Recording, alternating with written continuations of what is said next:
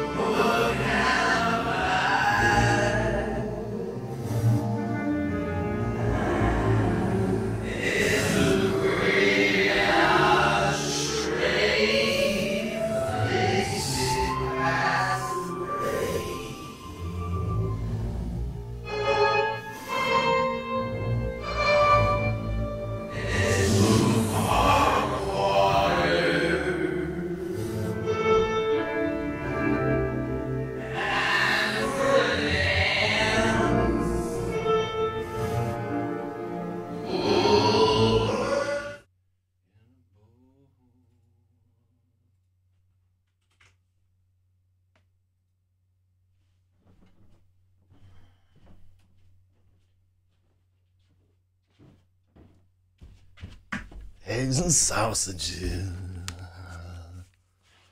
a side of toast, burgers and fries. What kind of pie? uh, never get tired of uh, our boy Tom Waits right there. Well, looks like it's just me this morning. Spathy Wah and Logic and all our homies are um, MIA, so we're just gonna have to do it solo.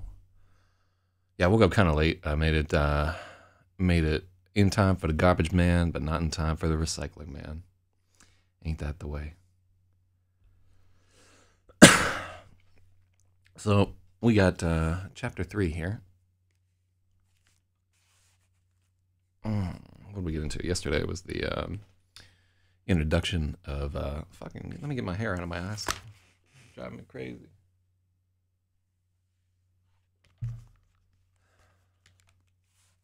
Though I shouldn't complain, it's good to have any kind of hair at all. Ah, ah. I'm gonna be editing in a fucking ponytail. This keeps up here. Yeah, hair keeps on growing. Uh, all my friends are like, "Yeah, I'm having to like tie it behind my eyes and so forth." We're gonna come out of this uh, looking like a bunch of fucking ponytail hippie ass hipsters and so forth. So, good morning everybody. Uh, yesterday we did an AMA on uh, with some crazy religious author uh, late into the night. Drank like half a bottle of whiskey, just trying to get through this horse shit. And now today I'm like a little foggy, but uh, a good day nonetheless. Uh, what do we got going on here? I got my bicycle fixed yesterday. That's fucking fantastic. Uh, shout outs to um, Fulton Bikes for staying open during this whole nonsense. Those guys are super chill. I've always liked those dudes. Uh, I like the ones. Uh, they used to have a location that was closer to me in Bed-Stuy, and I got another one that's over there in uh, Clinton Hill, I guess. But uh, yeah, if you're in, if you need a bicycle, uh, those guys have always done me right, and their prices are super fucking reasonable. They're not paying me to say this. I just like them. Ugh, fucking New York City right here. I just got a uh, a recon mission put down to me. All right, so we got some people here. Might as well start with the editing here. So, in eight days, uh, we've gotten through 50 pages there. Uh, so if we do some math, it doesn't look uh, promising there uh, because it looks like at this rate, uh, it will take us 80 days. Uh, so it might take three or four months to get through this this edit. Um, but uh, I, don't, I don't know. Like maybe if I get my act together and we start doing about three or four hours a day uh, consistently, we can cut that down to like two or three months. Uh, I'll tell you one thing is that I am anticipating the return of the edit of space tards. So we're going to take a pause uh, from doing Lemon Maybe for a hot second, and we'll go back to doing uh, space tards. And this will be super fun because uh, that edit will be me uh, doing a side by side, like a, a compare changes with an actual editor. Um, it's like a professional editor that we paid to uh, take a crack at fixing this, so we can see. Um, and he'll leave comments and so forth, uh, and, and, things that he wants changed and so forth. Uh, so that'll be kind of neat to see the kind of things that I miss because uh, let's face it, I'm not a pro. Oh my god, uh, uh, going crazy out here. I'm allergic to everything. But yeah, I, I think that'll be kind of cool. Uh, I like I like the process of like working through somebody's comments, trying to see their thought process. Uh, you learn a fair bit uh, from editors, and uh, I've always been a believer in them. So hopefully this guy doesn't fuck this up. Other than that, uh, I'm happy to have a bicycle again. And it's uh, nice out, so I'm gonna go for a long ride today. I'm looking forward to it, and that's all there is with me. So this is chapter three, the wicked city of Disulfiram. Uh, and so, if you don't know, we'll get into it a little bit. But sulfurum is a um, uh, a drug that are given to uh, really unrepentant alcoholics who just uh, backslide over and over and over again. The drug makes it impossible for you to digest alcohol. Like if you um, are on this drug, which you take uh, every day, it's a pill form. Um, if you're on this drug, like basically, if you drink, if you eat, like you know, like some alcohol soaked cherry or you know like rum raisin ice cream and even like the slightest taste of alcohol in something you will start vomiting and you won't stop. Uh, it's a very potent um, uh, fucking anti-alcoholic thing. Uh, and it does work. Um, but uh, uh, so uh, we'll get into that in a second. Give me one second here. Oh good god. All right there we go So, uh, chapter three. This takes place at 3:33 p.m. at City Hall Station. Uh, almost all this book takes place in Manhattan. Uh, there are a few sections uh, that take place in Brooklyn and one uh, that takes place in Queens. But we don't get on fucking Staten Island or Jersey for any kind of. Oh no, this some shit goes down in Jersey, I guess, but it's it's not it's not a major setting. Burgers and fries. Have you seen a child with red hair and a kippa? Yeah, about a million of them. Welcome to New York. Where were you on the night of September 13th? Balls deep in your mother. You got a warrant? I'm looking for a kid. Yeah, I bet you are, you fucking fruitcake. Fuck out of here. uh,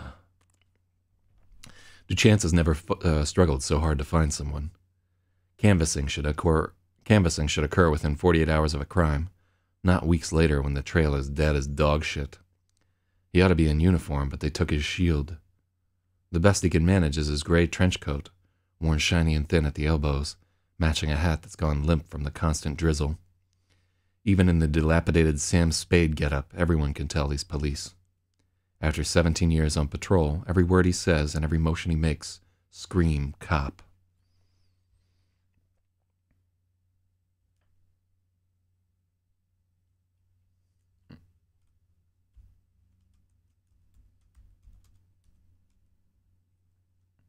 So every word he says and every motion he makes, scream cop. Uh, every word he says and every motion he makes screams cop. It's weird, right? Because um, both of those sound wrong to me. Um, as we're talking about every word and every motion, I think it's because we have uh, split plurals there. So every word would be singular, even though we're talking about uh, whatever. And then every motion.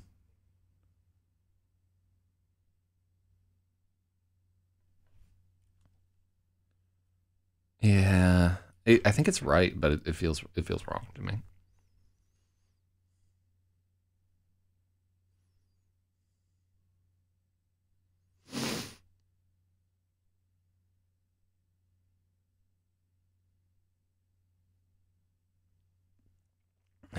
So, uh, trying to pass as a civilian is like walking on the moon.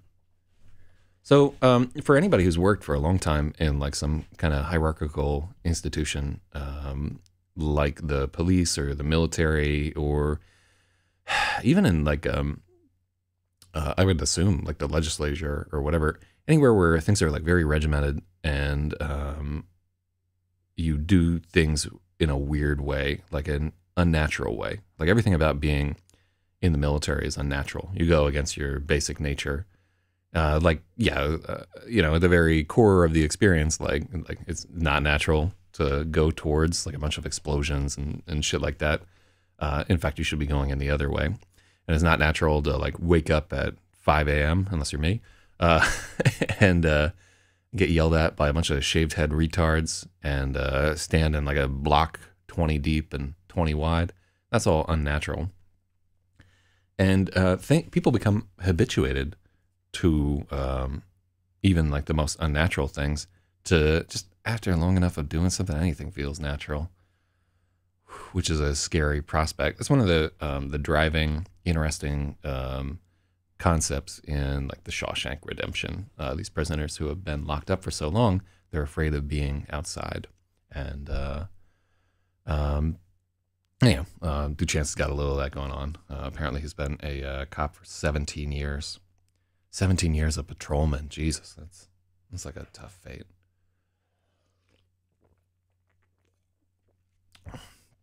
Still, Kaiser can't stop. He's got absolutely nothing else. He's too old and infamous to reenlist, even if they would let him.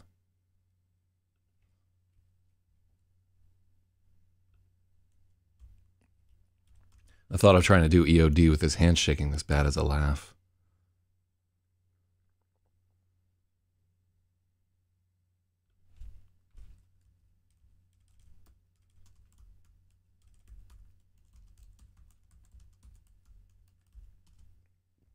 The thought of trying to do explosive ordnance disarmal, uh, disposal with his hands shaking this bad as a laugh.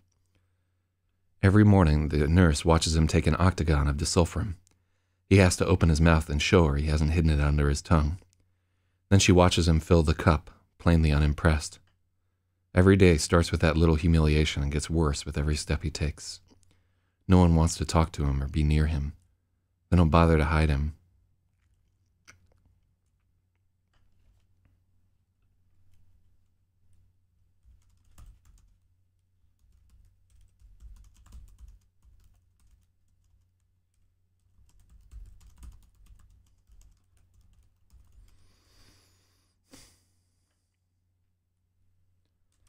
No one wants to talk to him or be near him. They don't bother to hide it. They wrinkle their noses at the smell and sight of Duchance, eyes darting to the side for an exit. They pretend they don't speak English. They shake their heads and look at their shoes. They mutter something about not having any cash. When Kaiser grabs him by the shoulder, when Kaiser grabs him by the shoulder and forces the issue, their eyes fill with abrupt rage that swiftly melts into fear.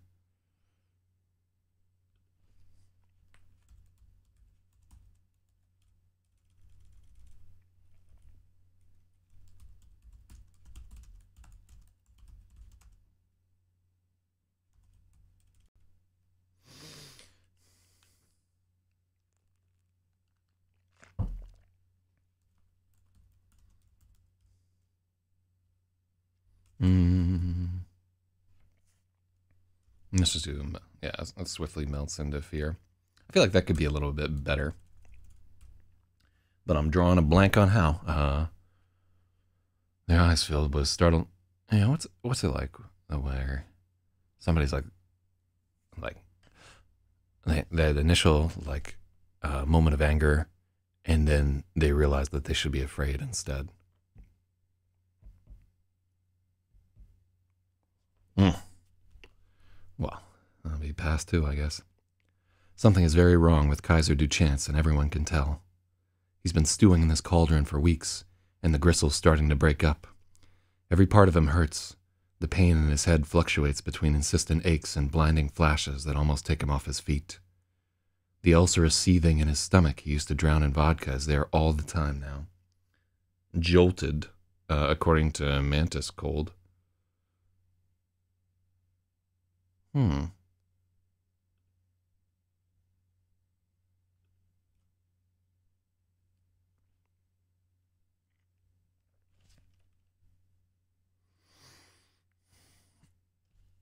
Yeah, I see. I see kind of where you're getting at there, with that like moment uh, where the the levers uh, sort of flicked, and that whole fight or flight reflex.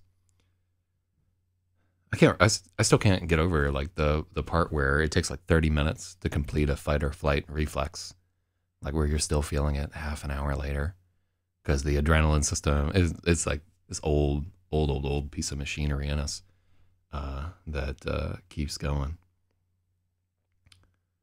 The ulcer is seething in his stomach. Used to drown in vodka. Is there all the time now. Without drink, there's no way to flush the tension out of him. It just accumulates like clay glomming onto an ar- armature.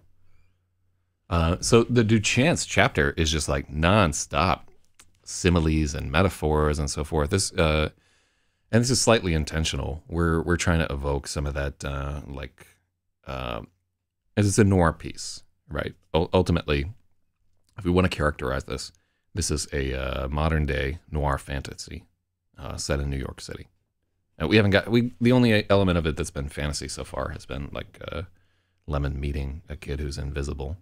Um, up to this point, like nothing else impossible has happened there, but many more impossible things will occur. This is um, I'm not going to use the term urban fantasy because normally pretty gay, uh, but um, but yeah, there's there's a lot of this, and there's potentially too much of it. Like both, he's been stewing in a cauldron, and the gristle's starting to break up, which I like as a metaphor.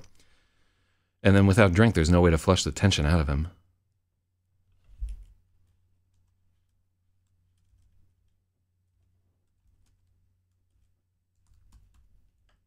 It just accumulates, like clay glomming onto an armature. Every stranger Kaiser approaches is molding him, wrenching and twisting, shaping into some terrible idol of rage. All right, and that's the point where I think we're laying it on a little fucking thick there.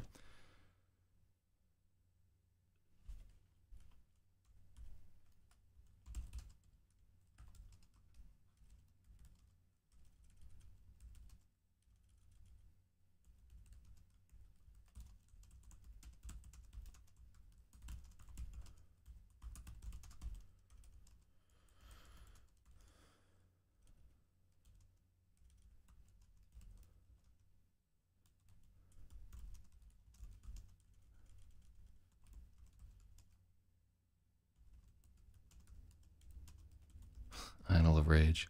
And so there the usage of idol is like a, a craven idol. Like idolatry. Every stranger who tells Kaiser to fuck off is molding him, wrenching and twisting that wrench, wrenching and twisting the anger, shaping him into an idol of rage. All right, so in this paragraph, uh, we attempt through the uh, ham-fisted uh, science of metaphor to uh, say that Kaiser Duchamps is real mad. Kaiser had no idea how much armor he was wearing before. Not just the Kevlar, but the uniform, the gun, the posture, the static shield of his crackling radio. It was all insulating him from these people. Without the booze and the badge, Kaiser is naked. Now he can feel all their unfiltered contempt, the rawness of their hate. He deserves all of it. Duchamps is everything people despise about the police. A drunken, murdering fiend, scrambling like a rat to escape the consequences of his actions. If they hadn't taken his gun and he'd have eaten it a dozen times by now, probably be reincarnated as some sort of invertebrate. Today is especially bad. Not one good lead all morning. Kaiser got caught in the rain and now his shoes are squelching with every step. The weather's driven him underground. You can't question people when they're sprinting through the rain.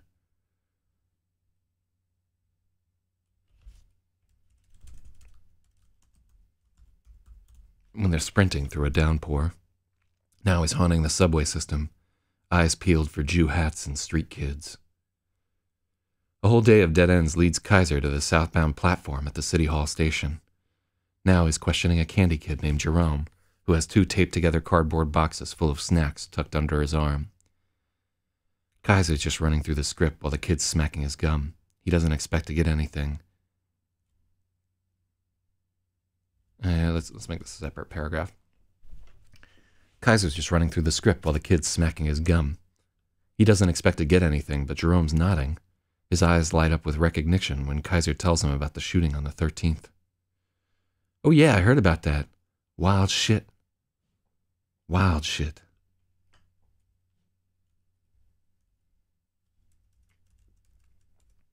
Oh, yeah, I heard about that. Wild shit, Jerome says, still chewing. Kaiser blinks. It's been so long since anyone has answered his questions, he's half forgotten why he's asking. There was a witness at the scene, a boy about your age, Jewish, thick glasses, curly red hair, wearing a kippah. That's one of those little hats. That remind you of anyone? That remind you of anyone? Oh, yeah, most definitely. Let me think. What was his name?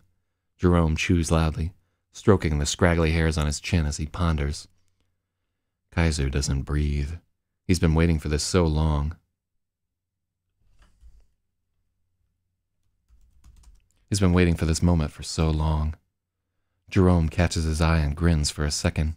Then he spits his gum at Duchance. The wad scores a direct hit right at the bridge of Kaiser's nose. Uh, right at the bridge of Kaiser's nose. Flecks of wintergreen spittle sting his eyes. Jerome doesn't even bother to run away. He just stares back at Duchance with a shit-eating grin.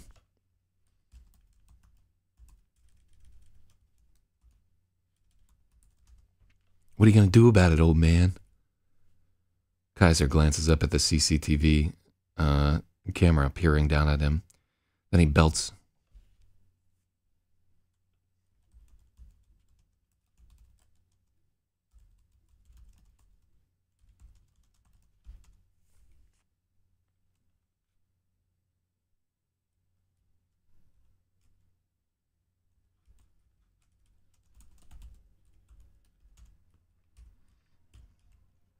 Mm-hmm. Kaiser glances up at the security camera, pointing, peering down at them, and shrugs. He belts Jerome in the mouth so hard it almost knocks him onto the tracks.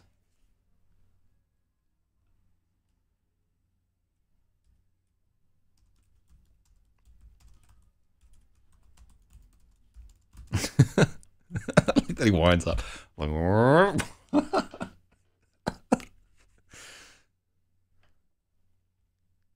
All right, so let's make that fuck it. Yeah, it's just, you know, like it's one of those Snickers moments where you just uh, fucking belt uh, a 14 year old kid so hard you almost knock him onto the subway tracks. Good God Almighty.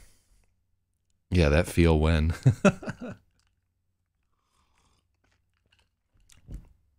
now we're getting into the part of the book I like. This shit is all ultra violence all the way through. Never stops.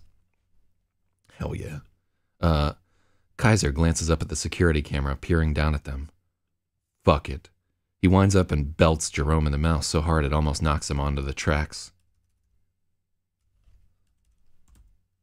Kaiser puts everything behind the punch, like he would hit a grown man, and it connects with the terrible crack of a home run. The kid's laid out with his head resting on the raised divots of the yellow warning strip at the edge of the platform.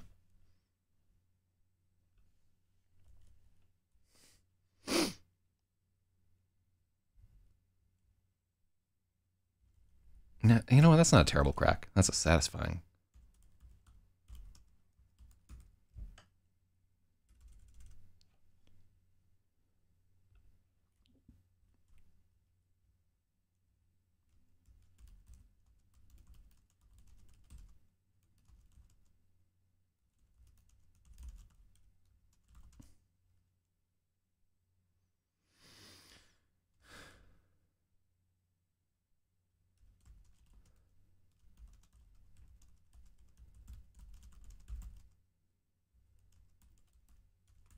Kaiser wrings his hand in the air. He'll be feeling that one for days. The kid's laid out with his head resting on the raised divots of the yellow warning strip. Yeah, this is this is a kind of word salad here.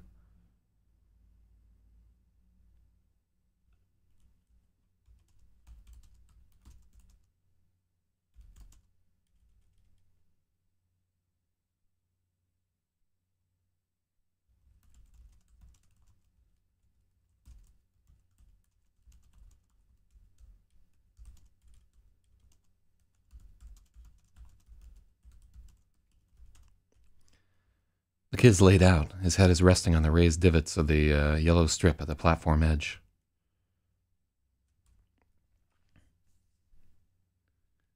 Uh, so Mantis Code says, "Am I reading the internal monologue of Kaiser?" Uh, no, actually. Um, so this book is told in third person, uh, quasi omniscient, uh, through a narrator. So the whole book is narrated uh, by a character that we meet in the very first chapter, uh, Lemon Lemoyne. He owns a, a dive bar in Hell's Kitchen. So a lot of this is told as if it's his story. Um, and it's not it's not um, set up in a structure like, hey, gather around, kids. Let me tell you a tale about something that went down in old New York City. You know, not it's not like that. Um, but there's a consistent narrator voice, or meant to be one, uh, and it is Lemon's voice. That's why you get like these hokey fucking metaphors and uh, um, all this. Yeah, like so. Um, the narrator here is uh, it, this is a weird book in terms of the way that it's set up. It's written in uh, present tense, uh, third person omniscient, which is weird, right? Like, um, not a lot of that shit floating around. Uh, so we're kind of a little in the experimental territory, but I think that it uh, works out for this particular style of book because it really lends kind of that uh, New York grimy, what the fuck is going on. Um, I'm a big fan of uh, uh, a lot of the real like uh, dark crime writers. Like I love, um, I'm a uh, James Ellroy is like a huge favorite of mine. I loved uh, fucking L.A. Confidential and uh, White Jazz and all kinds of, you know, these incredibly brutal policemen and really ham-fisted narrative driving home his point. Oh, love it, but it ain't for everybody. So let's let's get down to here. Kaiser wrings his hand in the air. Ah. He'll be feeling that one for days. The kid's laid out with his head resting on the raised.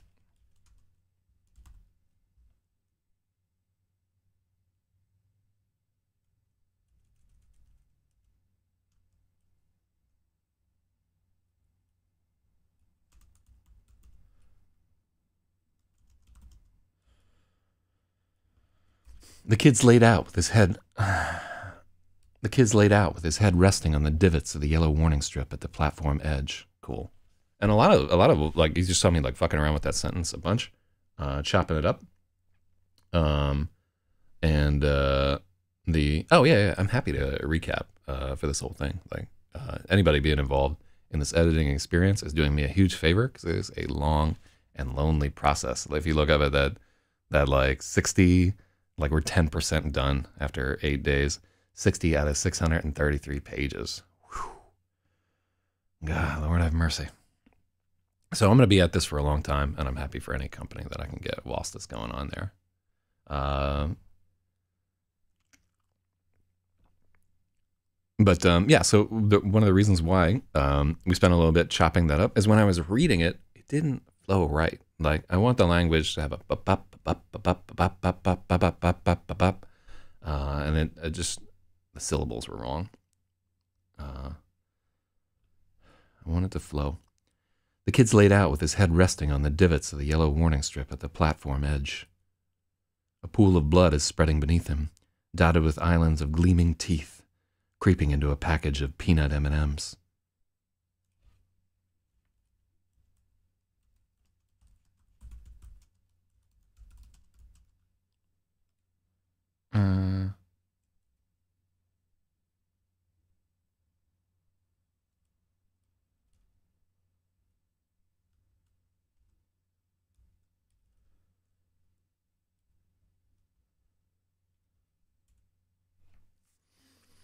A pool of blood, yeah.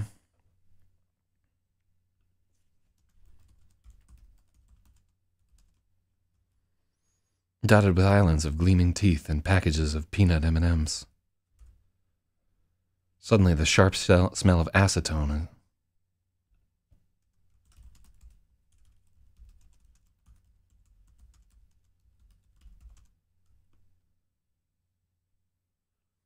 The smell of acetone is rising, overpowering the subway stink of urine and dead rats. Backpack and large containers are subject to random search, the intercom blares overhead.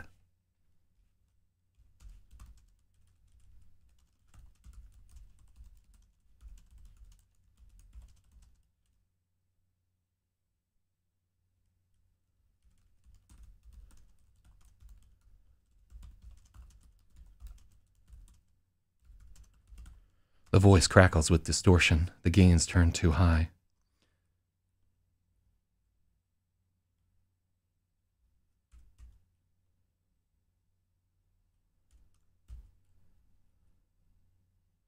Jerome looks up at Kaiser, his split lips spewing crimson, his eye,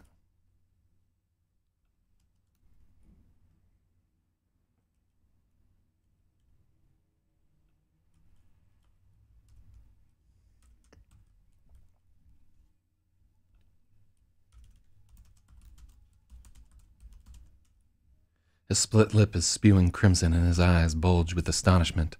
Kaiser knows exactly what he's thinking. You can't do that. Kaiser's just as surprised. He didn't think he would snap like this, not on a kid who can't be more than 15 years old. It's a clean break. Kaiser lost his mind so fast and hard he doesn't even feel like himself anymore. For a moment, they're frozen,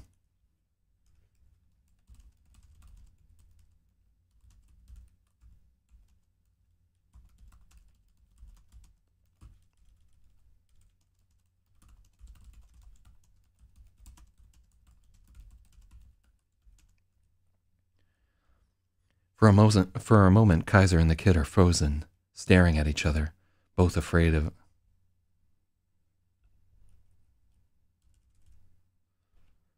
For a moment, Kaiser and the kid are frozen, staring at each other, both afraid of what comes next. If you see something, say something, the intercom concludes. One of Jerome's feet is hanging off the platform in just a sock. If a train comes, he's going to get clipped. Christ, you knocked his fucking shoe off, Kaiser chides himself, wondering when the guilt is going to hit.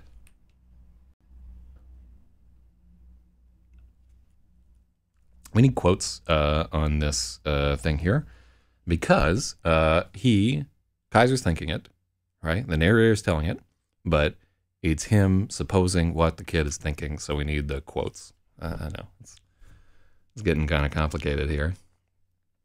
Christ. You knocked his fucking shoe off, Kaiser chides himself, wondering when the guilt is going to hit. Hold on, let me uh, let me actually message Spaethiwa. I wonder if his uh, thing didn't notify.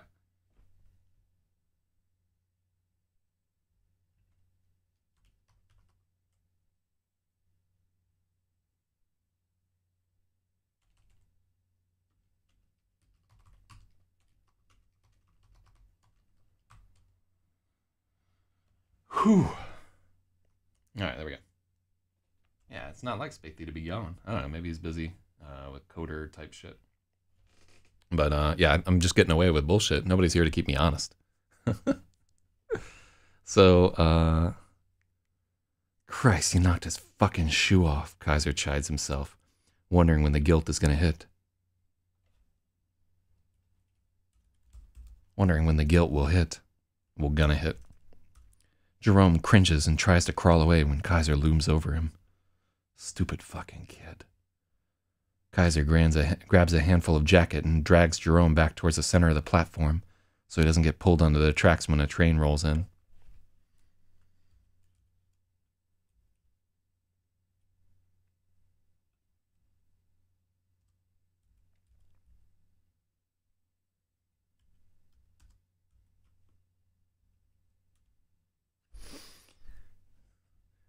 Kaiser grabs a handful of jacket and dra- drags Jerome back towards the center of the platform.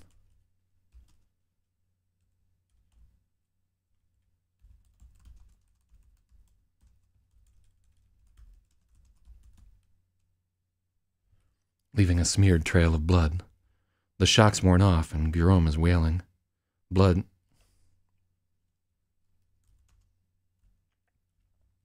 Yeah, let's let's take out uh, the smeared trail of blood because we have more blood. Blood, blood, blood, blood, blood for the blood god. Kaiser grabs a handful of jacket and drags Jerome black. Uh, Kaiser grabs a handful of jacket and drags Jerome back towards the center of the platform. The shock's worn off, and Jerome is wailing. More blood spatters onto the concrete with each, every sob. Kaiser ought to be running away, but the throttle's broke.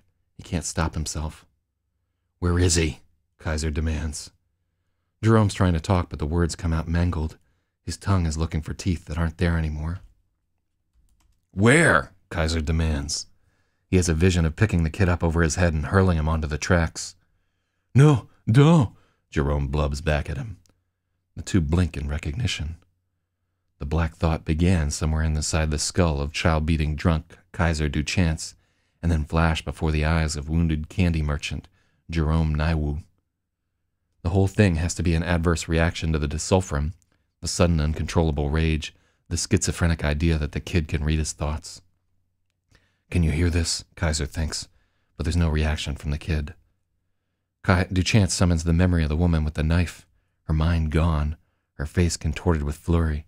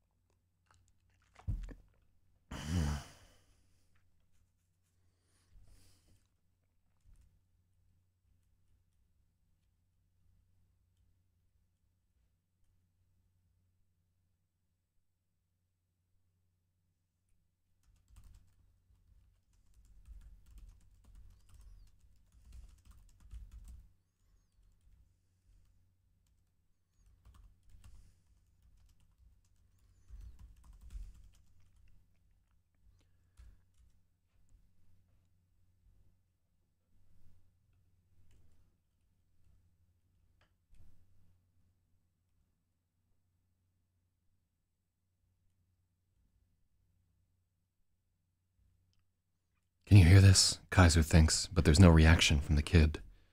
Duchance concentrates and summons the memory of the woman with the knife. He sees her face contorted with flurry, with fury, the sweat rolling down her face, the bloody slash on her swollen belly. Kaiser tries to put that image in Jerome, not sure how to do it, but then his temples roar with static. Kaiser expels his vision into the kid.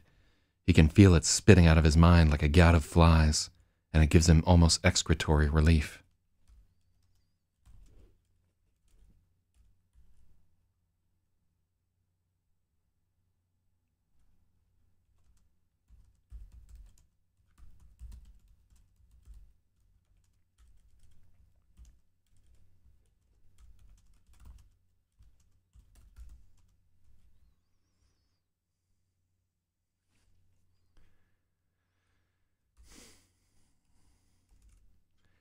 The vision hits Jerome like another punch. His eyes screw shut and he curls into a ball.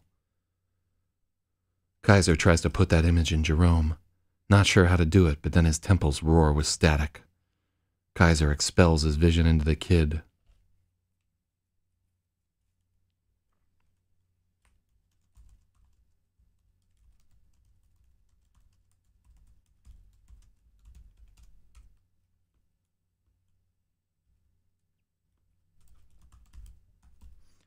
chance expel.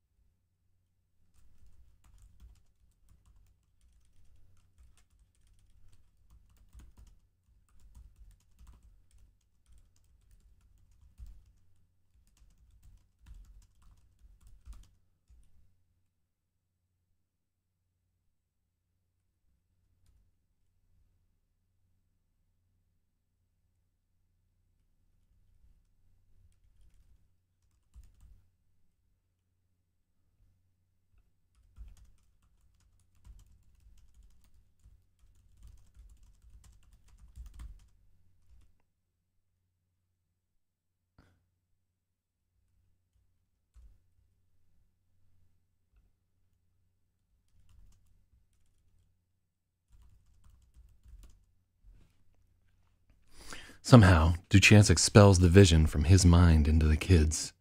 He can feel it spitting out of his brain like a gout of flies. Then he feels an almost excretory relief. The vision hits Jerome like another punch.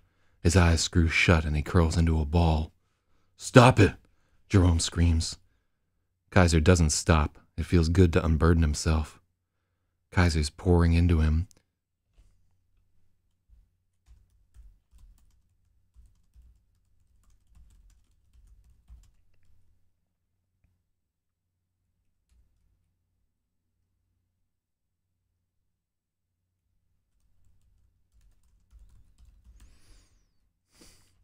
Kaiser pours more memories into Jerome.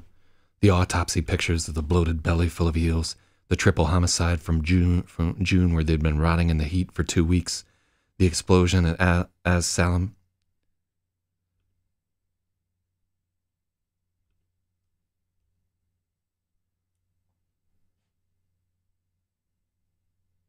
The explosion at Az Salaman, or Az Salman, where there were too many hands and they couldn't figure out who the extra one belonged to.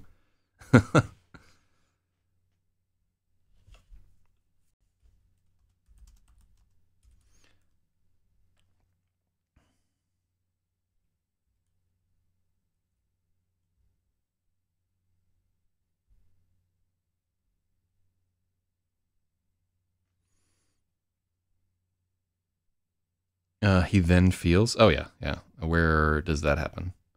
So let, us go back to because this is a this is a new uh, paragraph. This has not been uh, this section has not been edited previously, so this is all new uh, as part of this rewrite.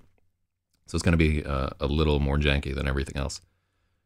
Kaiser tries to put that image in Jerome, not sure how to do it, but then his temples roar with static and he can feel the connection form.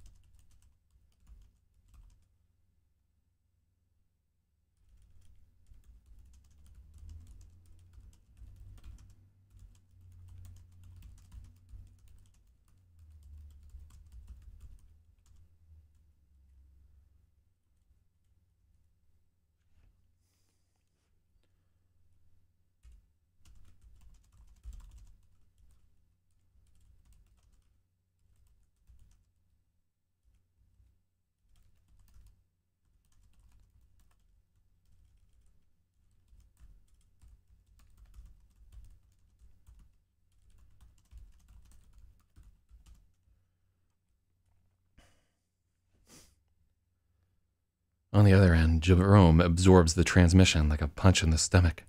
His eyes screw shut and he curls into a ball. Stop it! Jerome screams. Kaiser doesn't stop. It feels good to unburden himself.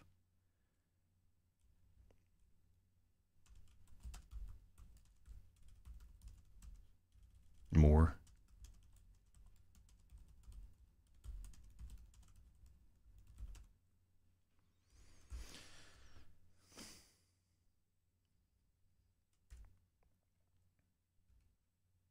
Pours more of his bad memories into Jerome. The autopsy pictures of the bloated belly full of eels. The triple homicide from June where they'd been rotting in the heat for two weeks.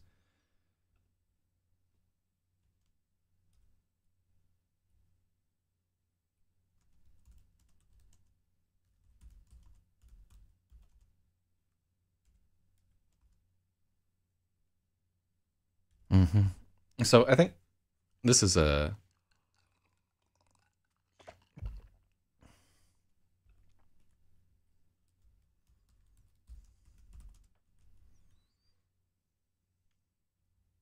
The roadside bomb where there were too many hands and they couldn't figure out who the extra one belonged to. Jerome begins to convulse. He's just a child. He can't take all these horrors. Kaiser suspects if he keeps on, he'll kills him. Yeah, that's, that's no good.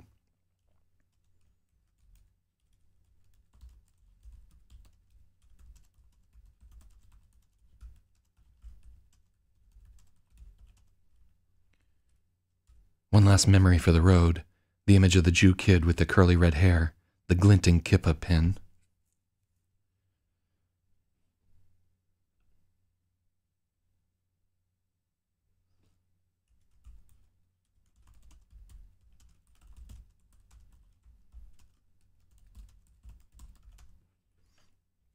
A kid, where is he? Kaiser demands. Darke, Chanatafa. Jerome rasps. He's trembling all over. Kaiser can't figure out what the fuck he's talking about. Get up, Kaiser orders. Jerome gets up instantly. There's a confused look on his face. It wasn't his idea to rise. It wasn't Jerome's idea to rise.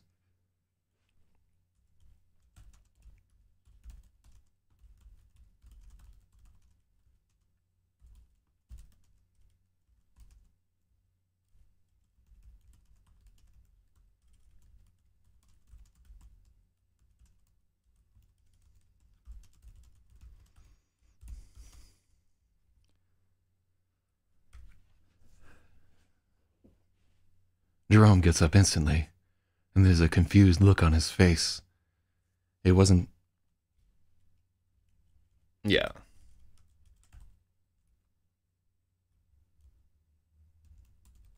The kid gets up immediately.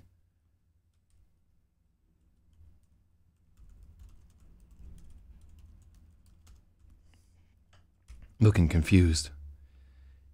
It wasn't Jerome's idea to get up. Uh, it wasn't Jerome's idea to rise.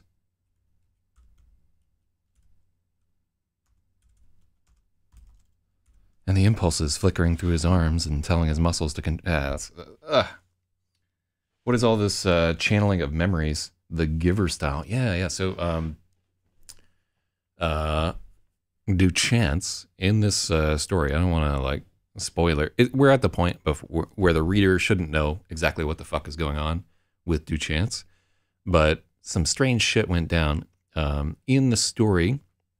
Um, so uh, Kaiser Duchance is like a severe alcoholic, and uh, one night he's on patrol with his partner Carl Mason, and he is just drunk as fuck. Uh, we go into how he's been drinking all day, and uh, his partner is having to do log for all the calls, and uh, he actually uh, has his partner pull over the squad car uh, so they can get out and park between or puke between two parked cars.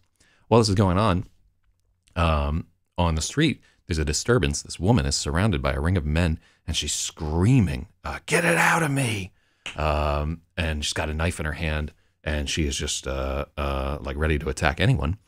And uh, so he tries to intervene, but he's so fucking drunk at the time that he winds up shooting this woman uh, right in the head. And uh, after he shoots her, uh, like uh, right above the eye, and blows her fucking brains out, she's laying on the street and everything. He realizes that this crazy homeless woman is also pregnant. Fuck. That's not good. And he uh, is just pissed drunk at the time. And uh, it, everything goes from bad to worse for Kaiser Duchance after that. Uh, and in the, I think, two scenes ago, uh, we found, actually, three chapters ago, uh, he was visited by the lawyer of the Policemen's Benevolent Association who says, Hey, good news for you, Duchance. You're only facing one homicide, not two. That lady wasn't pregnant.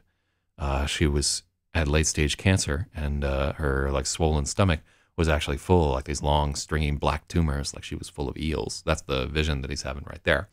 That's fucked up, man. I don't, I don't like that. Uh, that uh, that whole thing. Uh, yeah, so we're we're still working on this uh, paragraph right here.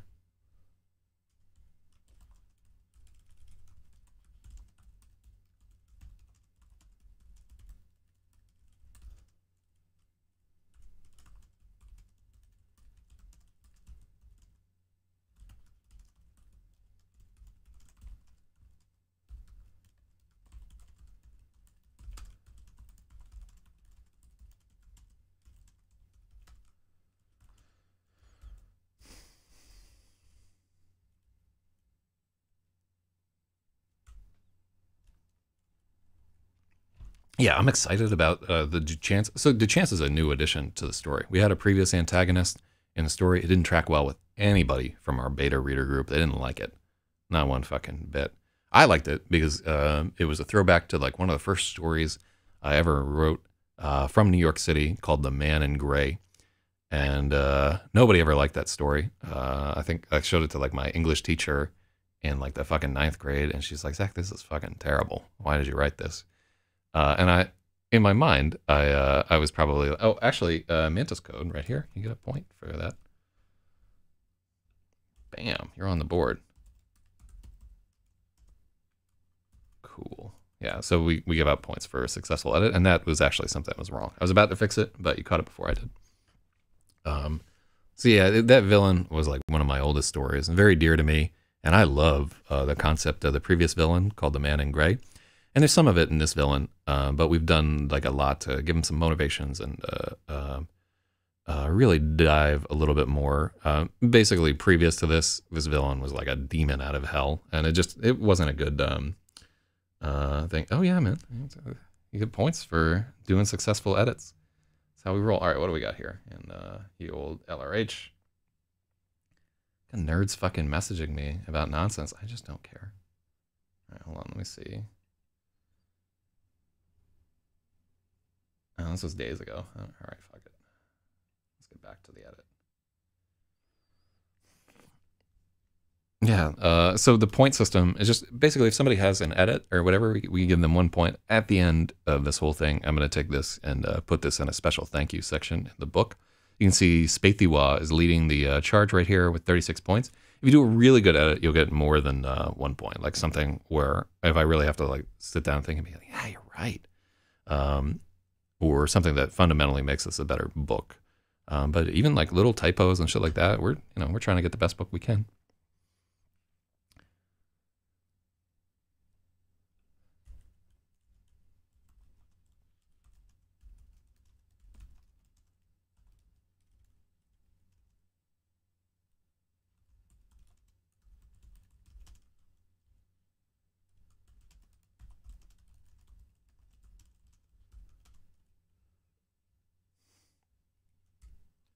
The impulses flickering through his nerves and telling his muscles to contract didn't originate. Oh, yeah.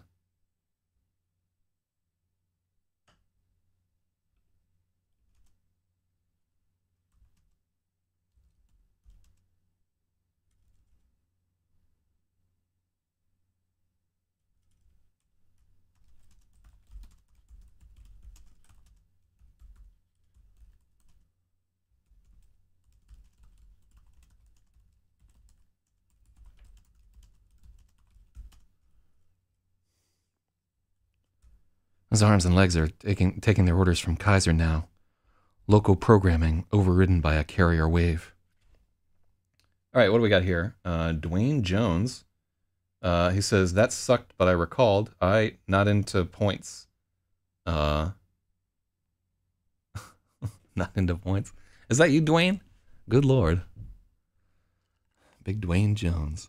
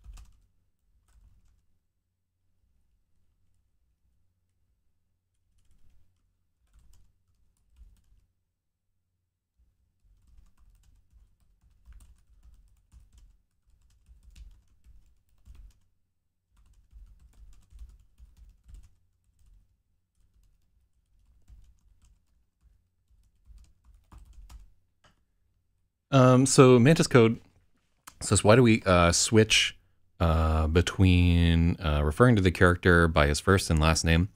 One of the things we're trying to do is uh, break up repetition of the word Kaiser.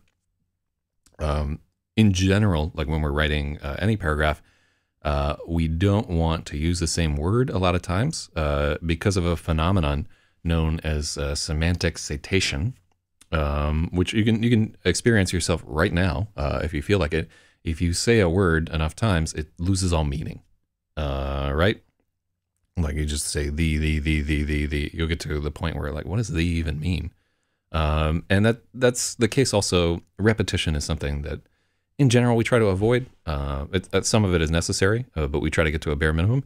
And one of the ways that we do that is um, uh, like you'll call somebody by their pronoun. Pronouns are like meant uh, to do this. Uh, like pronouns are one of the ways that we try to get around having to say somebody's name over and over again. Another way is just by swapping up their first and last name, um, saying their title, saying like the policeman or whatever. but yeah. Oh, shout outs to Jira who says that we out here. Um, but uh, keep in mind that um, that's in the service of uh, um, creating uh, like a smoother flowing dialogue. More important uh, than sort of smoother flowing clarity is always number one. Like the reader has to understand what the fuck is going on more so than they need like for things to like flow or uh, be tight. So if we have a point where um, like if swapping between Kaiser and Duchance is distracting, then that's something that we need to fix. Uh, so, English scholar right there. I don't know what the fuck is going on there.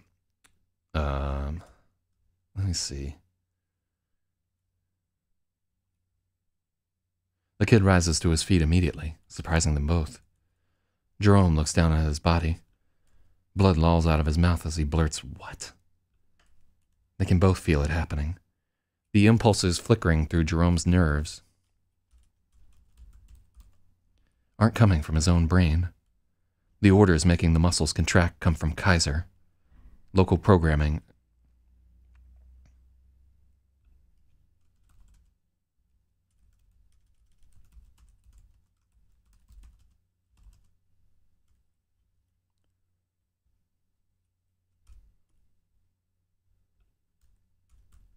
The local programming is overridden by a carrier wave.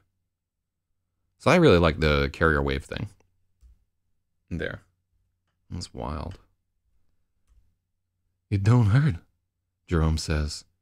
He's touching his ruined mouth and his hands are coming away bloody. It's running down the front of his shirt. Kaiser realizes the kid is right. The pain is gone, like he downed a palmful of Vicodin. The pounding in his head, the aching in his knee,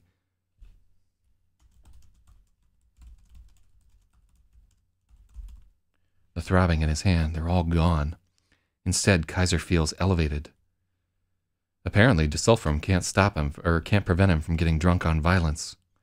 Whatever's happening to the two of them, when it hits you, you feel no pain.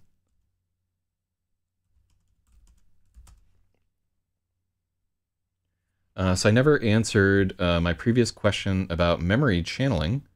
Uh, I talked about Kaiser's backstory about killing some homeless woman. Um, so and not without um, uh, not without reason, right there. Uh, it's not known to the reader yet exactly what's happening with Kaiser, right? Like this should be a point at the story where the reader's like, "What the fuck is he doing? It's weird." Um, and then later, uh, we should get into exactly what Kaiser is and exactly what's going on. So this is a superhero story, and at this point, uh, nobody knows who they are or what they do. Um, they have no idea like where their powers are coming from, like uh, how to control them, etc. So I'm not going to reveal that to uh, the people uh, re- watching the edit at this time because I want when the big reveal comes, I want anybody who's still watching to be able to be like, oh, okay, yeah, like that makes sense. Um, but yeah, not uh, not without um, not without cause. Yeah, I'm not I'm not just trying to skim over your question, like because another part of it too is um, like I need to find out like does this big reveal work out okay? Um, you know, we're trying to get this go. Kaiser realizes the kid is right. The pain is gone. Like he downed. It don't hurt. Uh, uh, so I, I wonder if readers will it don't hurt. Uh, if they'll be able to track this as it don't hurt, or if that's just like too far afield. All right, uh, what do we got here? Let's uh, let's look at this paragraph again because this is kind of a um, uh, an important one, getting to what the the character is able to do. They can both feel it happening. The impulses flickering through Jerome's nerves aren't coming from his own brain. They come from Kaiser. The local programming is overridden by a carrier wave. Yeah. Like local programming overridden by a carrier wave.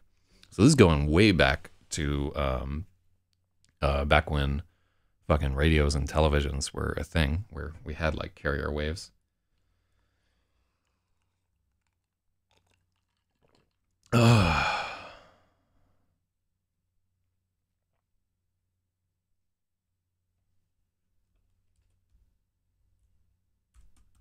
He's touching his ruined mouth and his hands are coming away bloody. It's running down the front of his shirt. Should we make this a Supreme shirt? Um, this, here's one for the audience. Like we could add something to his shirt. So this is taking place at around like 2004. Um, actually, hold on. What was the iPhone release date?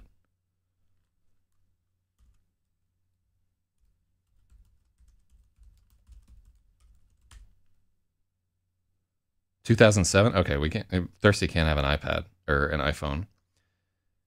God, was it just 2007? That's wild. Pages. Uh, let me see. Yeah, that puts it. Uh, all right, so so like 2007. Uh, this goes down. Uh, what do we got here?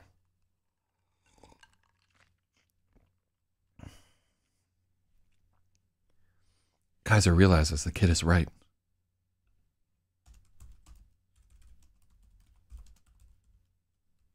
It doesn't hurt. The pain is gone like he downed a poundful of Vicodin. The pounding in his head, the aching in his knee.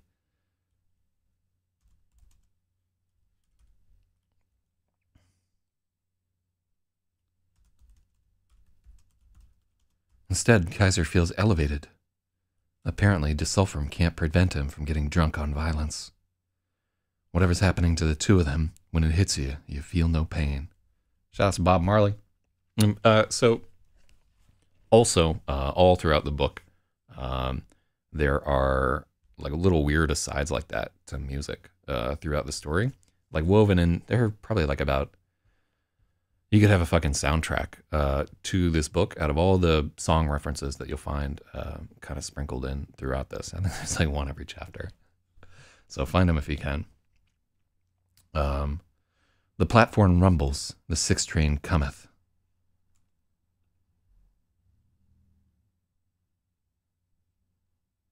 Yeah, Dwayne. Like, so see if you can spot all the as you're as you're uh, watching through the edit. Anytime where you spot a reference to a song, uh, let me know if you can see it because some of them are hidden pretty well too. Uh, it's like a little game you can play while you're watching the edit. The platform rumbles, the sixth train cometh. Kaiser should get out of here. The kid's standing as still as a soldier.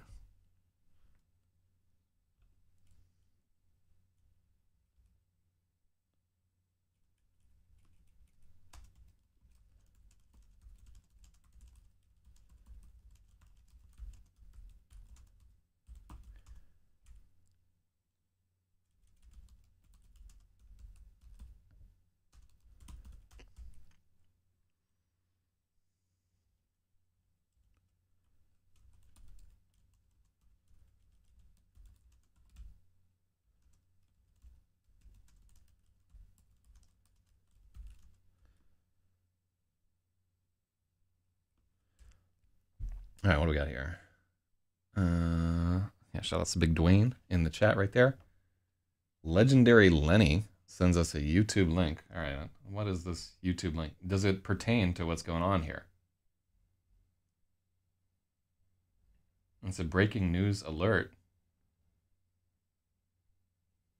Oh, I don't, I don't know. I don't have time for some fucking meme horseshit. We got a story to write. Uh, sorry, man. Yeah, I don't, I don't know what the fuck that's all about. The platform rumbles, the sixth train cometh. Kaiser needs to get out of here before the transit police arrive. Beside him, Jerome is standing as still as a soldier at attention. Blood trickles from the corners of his mouth. Kaiser can't leave him here. Too many questions. If anyone asks, you fell. Kaiser's voice starts off threatening, but he realizes there's no need. Jerome's eyes are locked in him, glassy, dilated, broken.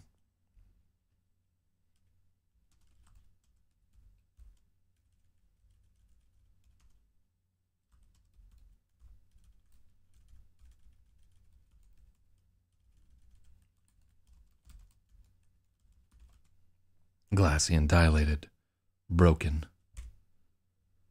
Megaliths are rubbling. Megaliths are rubbling aside in Kaiser's mind to reveal a forbidden idea. He could order Jerome to leap in front of the six train and the kid would do it. No hesitation. It's unspeakable power. Come with me, Kaiser demands. Come with me, Kaiser orders, and Jerome has no choice. Propelled by Kaiser's will and missing a shoe, Jerome lurches forward like a zombie. They're halfway up the stairs when the train pulls in and the passengers spill out. Cries of dismay ring out at the bloody mess Kaiser left behind. Damn. Man, that's wild.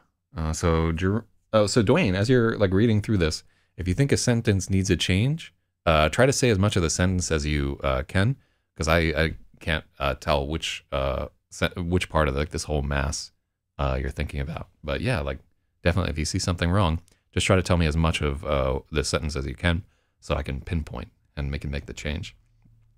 It's a fucked up chapter right here. Uh, so here is uh, Kaiser Duchance punching a kid, uh, raping his mind, and then turning him into his child soldier. Ooh. Uh, It's pretty fucking weird. Right there. How long uh, is this guy right here? Let me see. So that's chapter three. Uh, so Dwayne says, I can't speak.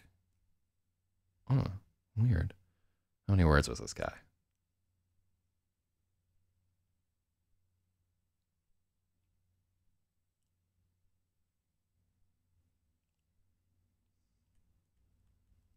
Okay, that's about 1,800 words right there. Uh, uh, actually, closer to 1,900 words. Oh, he can't speak because people are asleep. I see. Shout out to your roommate, Dwayne. Let's see. So, day eight.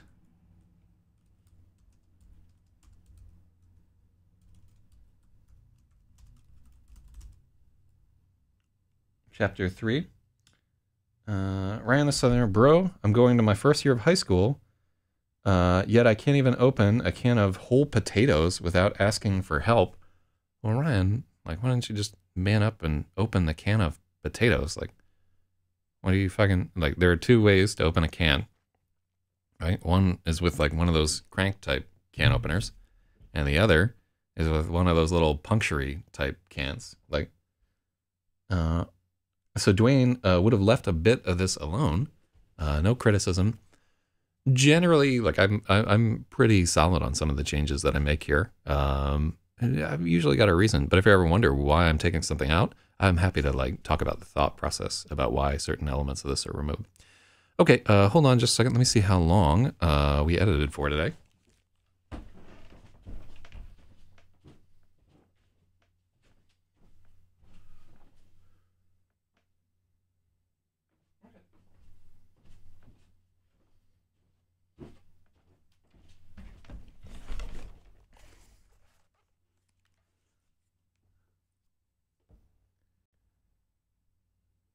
Okay. So I don't know how to use the thingy that opens the crank type ones. Like literally, you just uh, open the two jaws of the thing, you put it over the little uh, indent on the rim, and then you bite it down. Have you never opened a can before in your life? Uh, so Mantis Code says to do another chapter. Hmm. Hmm. Yeah, right. Because he asked. Yeah, I, I honestly like I, like the big part is that I'm like uh, waiting for uh, Spiffy Wah to be here because he really is like a pretty instrumental part of this whole thing. He's getting like a lot of good edits that I miss. uh, and Logic, and both of them are gone at the moment. But um, whatever. Let's do uh, chapter four. Tell that to the post. So in this chapter, uh, we meet uh, Gerald. Uh, uh, uh, fucking. I don't like that. Uh, the previous chapter is Jerome, and now we have Gerald. Um, because the the both are gonna like stick in their readers thing. We could potentially change Gerald's name. Uh, Jerome, we can't change his name because he has a nickname, Romy, um, and he comes up more places in the story. Uh, but I do like uh, uh, Big Gerald. But um, all right, let's try and get through. Let me see how many chapters this is. So chapter page 65, one, two, three, four. Oh yeah, it's only four. All right, we, we can definitely get through four pages. All right, so this is Tell That to the Post. Uh, this takes place at 9.06 p.m. at Gerald's place, uh, which is on, I want to say, maybe, the, I can't I can't remember. They're either on the Upper East Side or Upper West Side. So these guys would be uh, across 110th Street. Pimp's trying to find a woman that's weak. Woo! Uh, all right, what do we got here? So Thirsty and Matthew live four blocks from each other. But Matthew's building has a doorman, and Thirsty's has a sign saying that only residents and guests are permitted within by the city housing authority.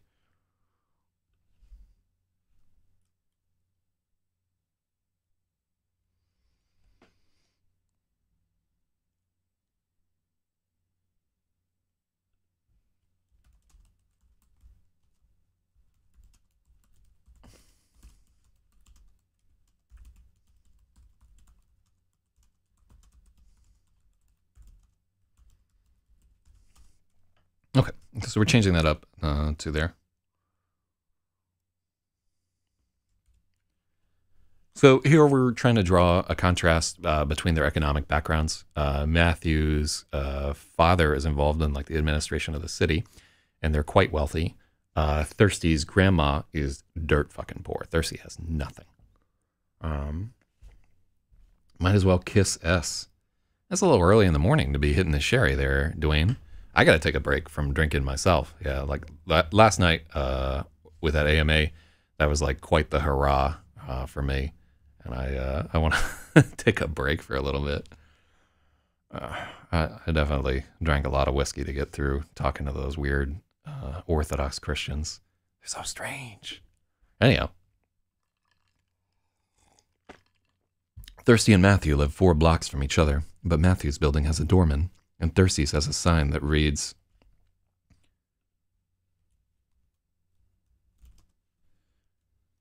And Thirsty's building has a sign that reads, Only residents and guests permitted within by the City Housing Authority. So we're basically just trying to say that uh, Thirsty lives in public housing. They play Xbox for a few hours until Thirsty. Oh, uh, when did the Xbox get released?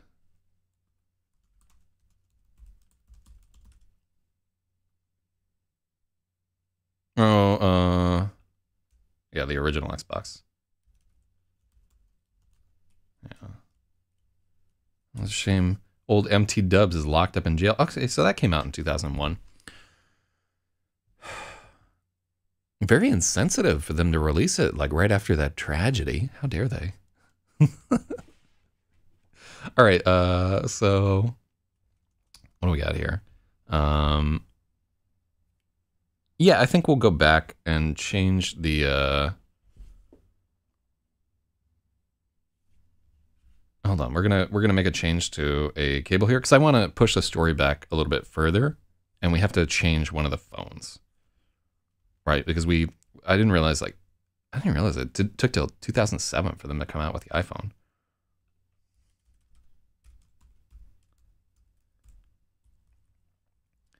Nokia, Thirsty says. Okay, cool. So we give him a fucking Nokia uh, instead of a. Um, so he has the Snake game. He doesn't have an iPhone.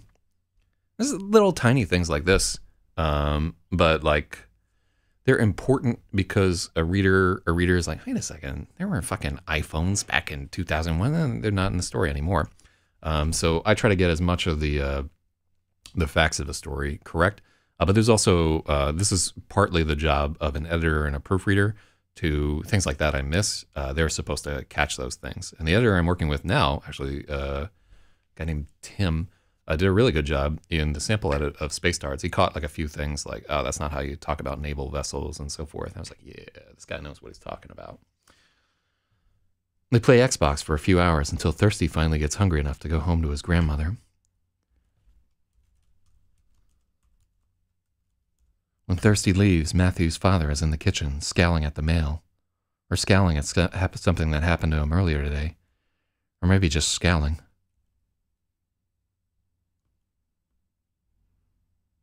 Oh, yeah, this is not a good line.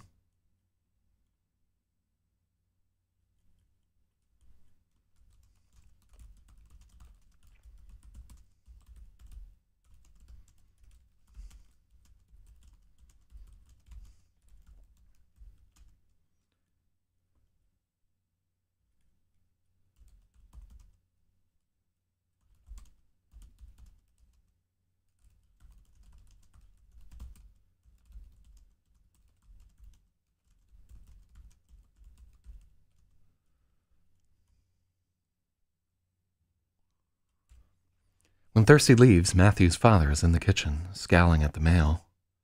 Or maybe he's angry at something that happened earlier today, or at life in general. It's the only expression the old man has anymore. Gerald and Matthew have not gotten along since elementary school.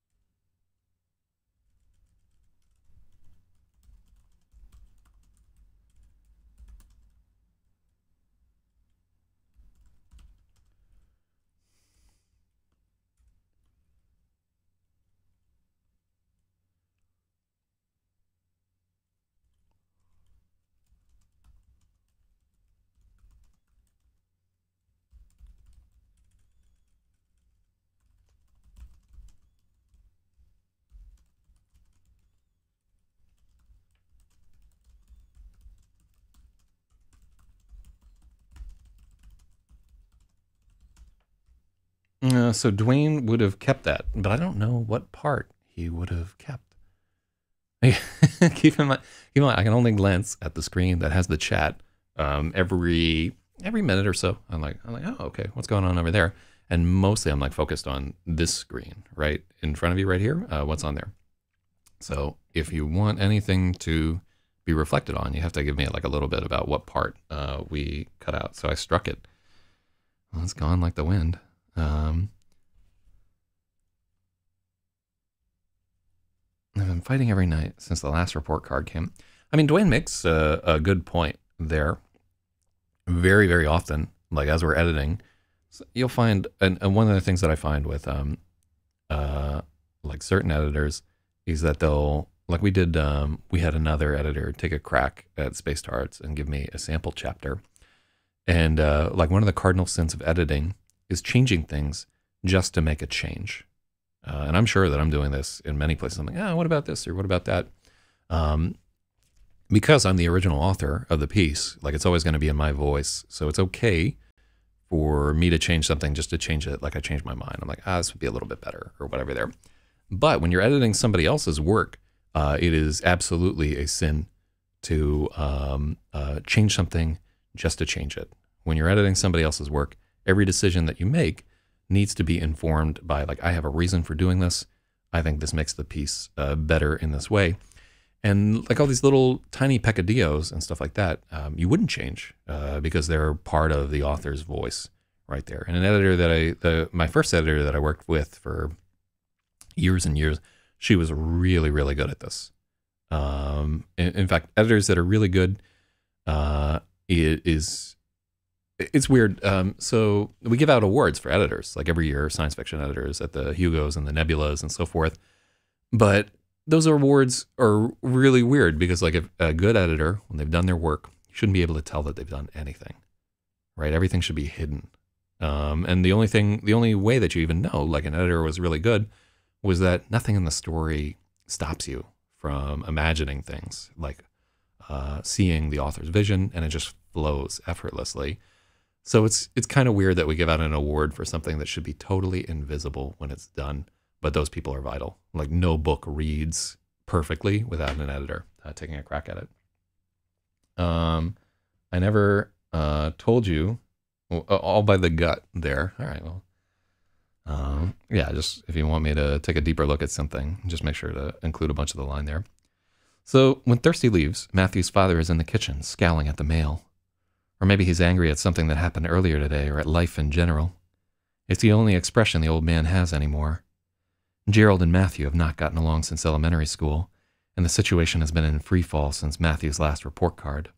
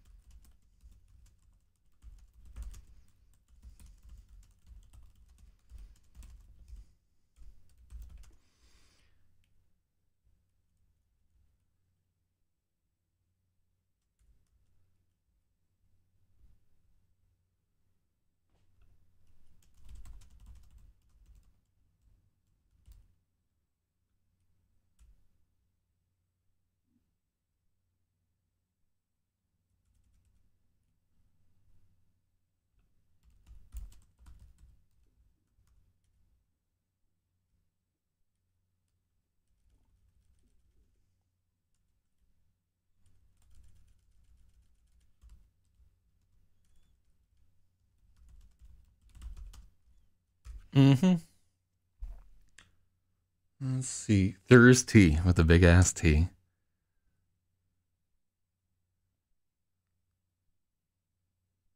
Oh yeah, that's so I'm gonna give Dwayne a point for that right there.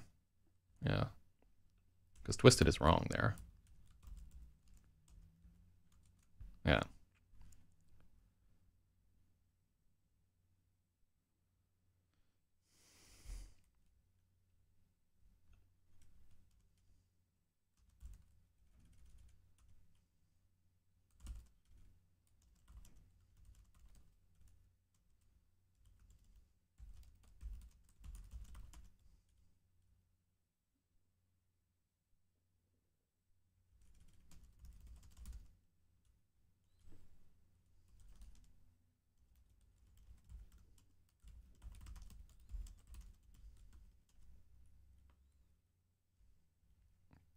Yeah, I, I, I feel like actually we we gotta uh, strike that.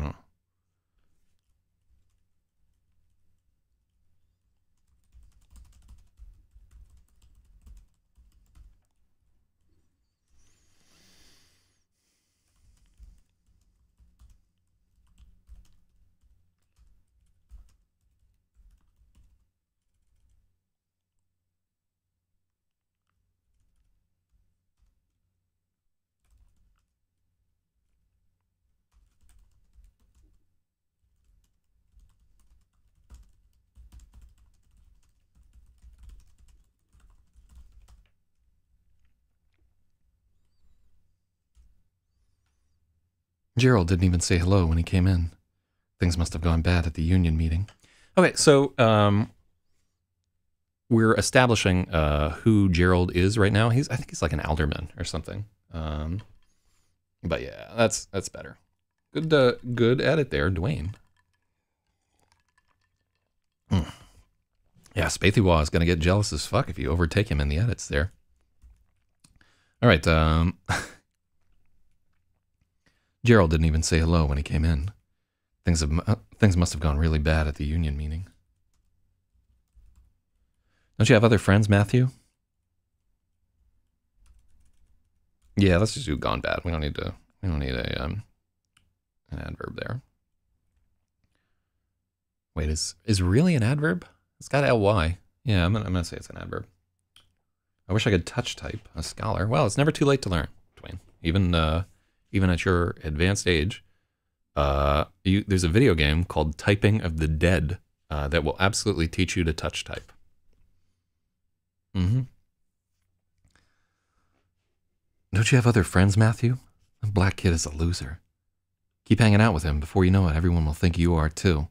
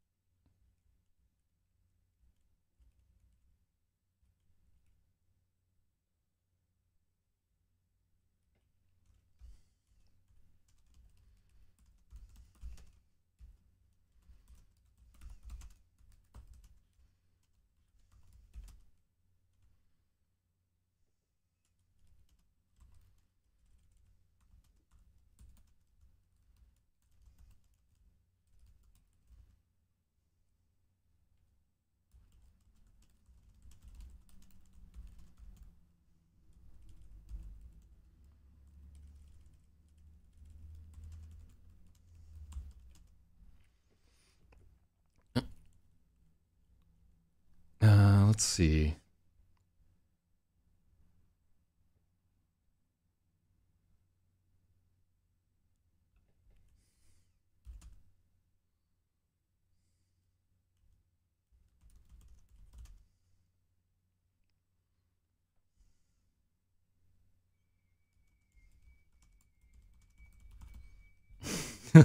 Let's just make it a jury duty notice.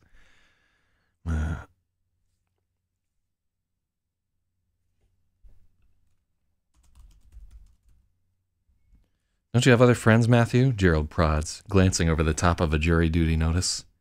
Matthew doesn't answer him. He heads towards.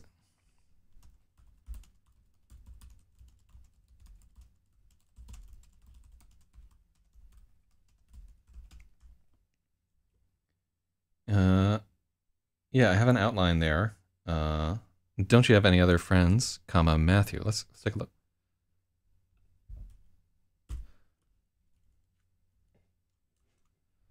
Boom. Jiro's got his point number two. That's a good edit right there. That's a good comma. Don't you have any other friends, Matthew? Gerald prods. so it wouldn't be Matthew like that. It would just be Matthew. Matthew doesn't answer him. He's headed for the fridge to see if there's any pizza left.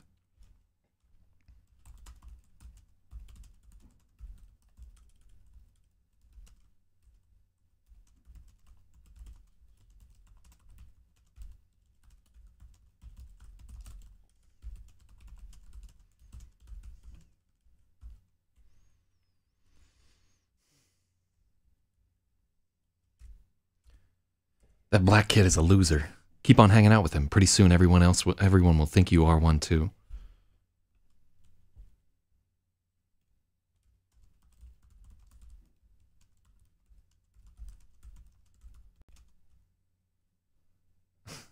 Black kid is a loser.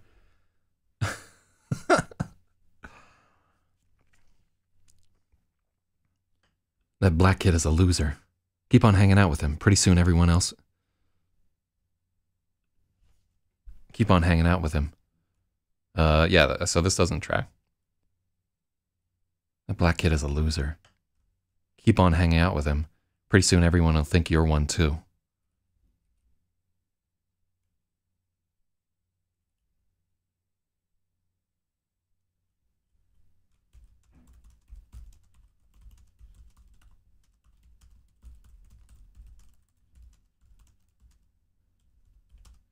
That's more Gerald's voice.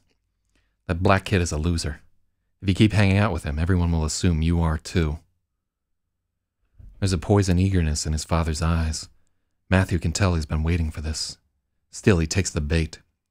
That's bullshit. Thirsty's not a loser. He's. Ow!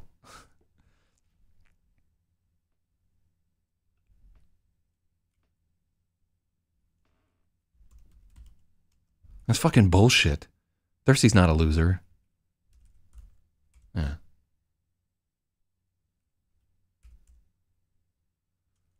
Thirsty's not a loser. He's ow! Gerald claps him hard on the side of the head.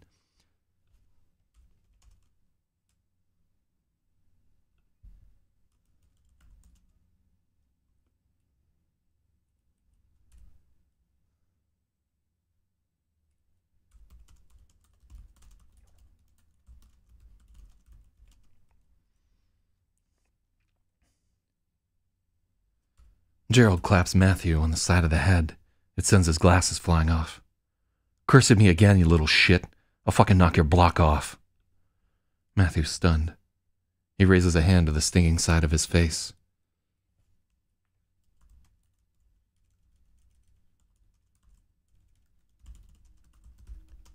He raises a hand to his stinging cheek. Gerald keeps ranting. He must have been stewing on this monologue for hours. Matthew can smell beer on his breath.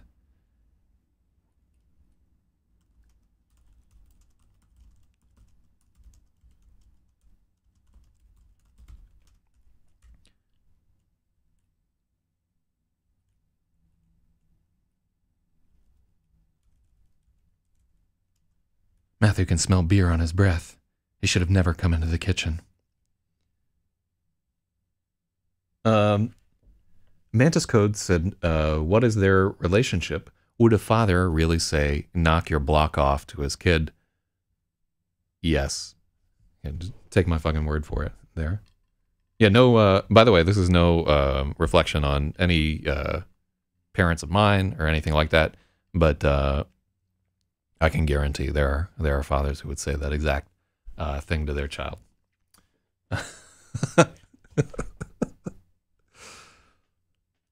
yeah, yeah. Just as we're going through the books and anything like that, anything that would uh, uh, be personally, I try to like not have any connections whatsoever to my own uh, family members. So most of this is shit I'm ripping off from other people's life stories that I know about. Because um, I don't, I just don't want to get my uh, own family involved in like my show or the writing or whatever, because uh, people on the internet are insane. So uh, yeah, generally this is uh, shit that I rip off from my friends' stories. Um, if I want something that's true to life. But Matthew's stunned. Curse me again, you little shit. I'll fucking knock your block off.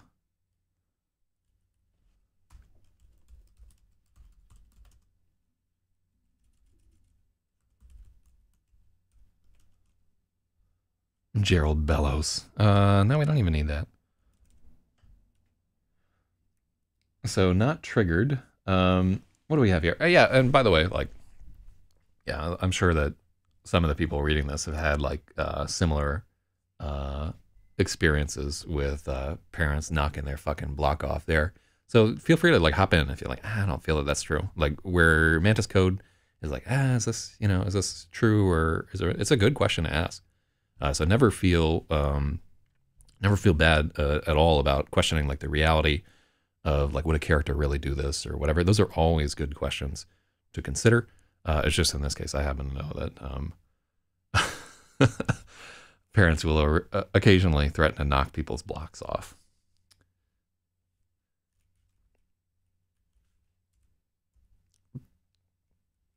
And what the hell kind of drug dealer name is Thirsty, anyhow? Keep the shit up. Keep up the bad grades and the back talk. I'll put you right out on the street. If you like these niggers so much, you can go live with them. Yeah, so apparently his dad is uh, Quentin Tarantino. Uh,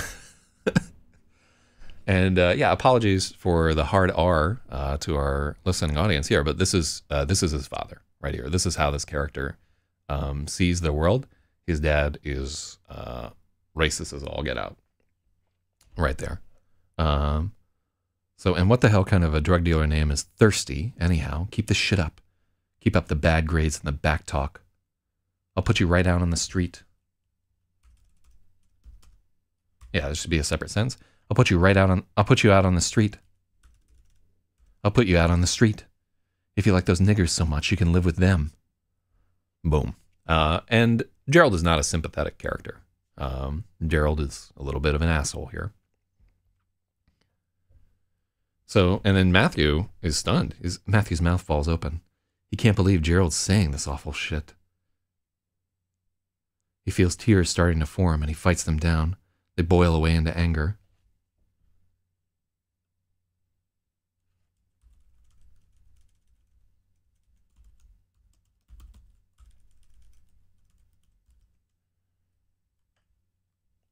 Uh, so Dwayne says he never hit anyone other than to defend, but that's um, also a little bit.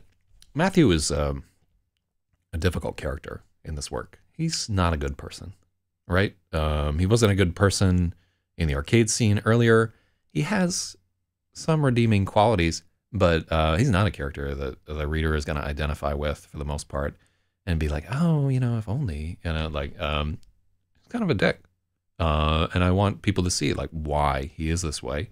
And uh, he just does not have, does not a good relationship with his dad.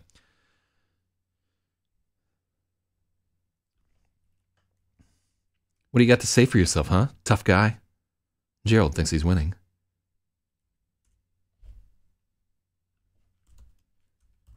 Gerald thinks he's winning.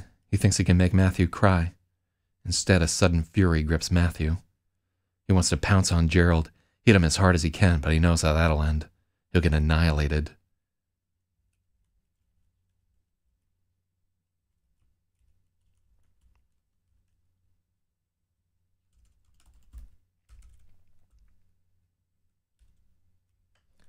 Gerald thinks he's winning.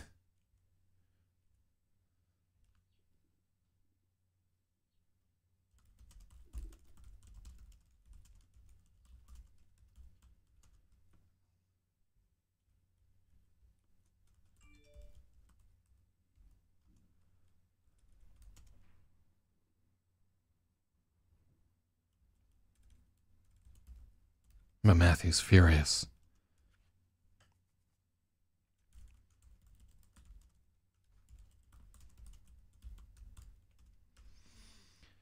Gerald thinks he's winning, that he's about to make Matthew cry. Instead, Matthew is furious. He wants to pounce on Gerald.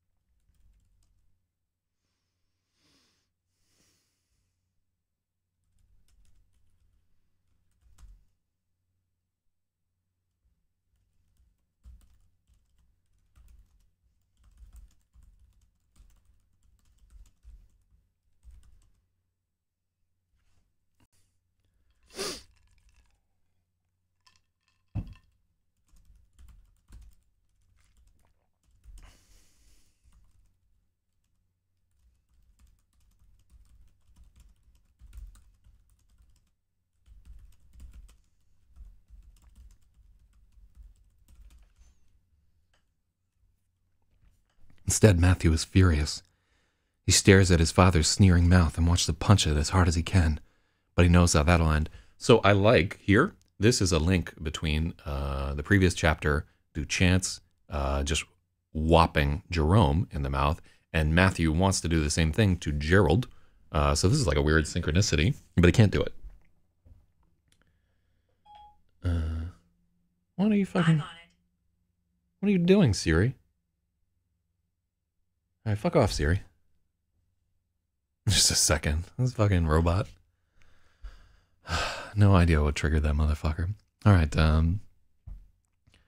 Gerald thinks he's winning, that he's about to make Matthew cry. Instead, Matthew is furious. He stares at his father's sneering mouth and wants to punch it as hard as he can. But he,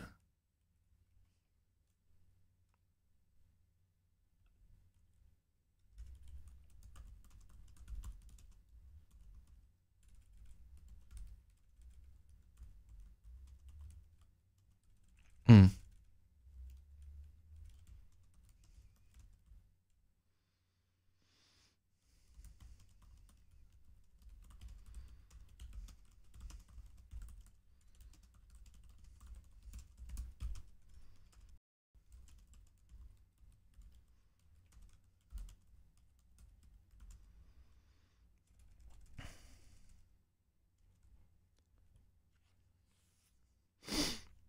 Okay, cool. So a little tune up on this paragraph here. Gerald thinks he's winning, that he's about to make Matthew cry.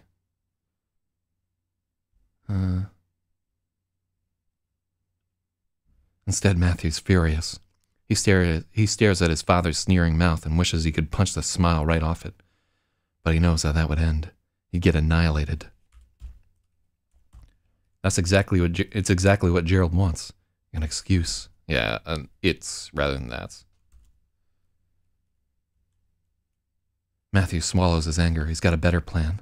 Yeah? Yeah? Fuck you. I'll go right now. I'm going to mom's, and I'm going to tell her you hit me. Good luck in court, Gerald. You come back here. Don't you fucking walk away from me. A hundred bucks, Matthew says, remembering his, his empty wallet, the Metro card he gambled away. What? A hundred bucks and I won't tell social services about this. Are you, are you fucking trying to extort me? Are you seriously?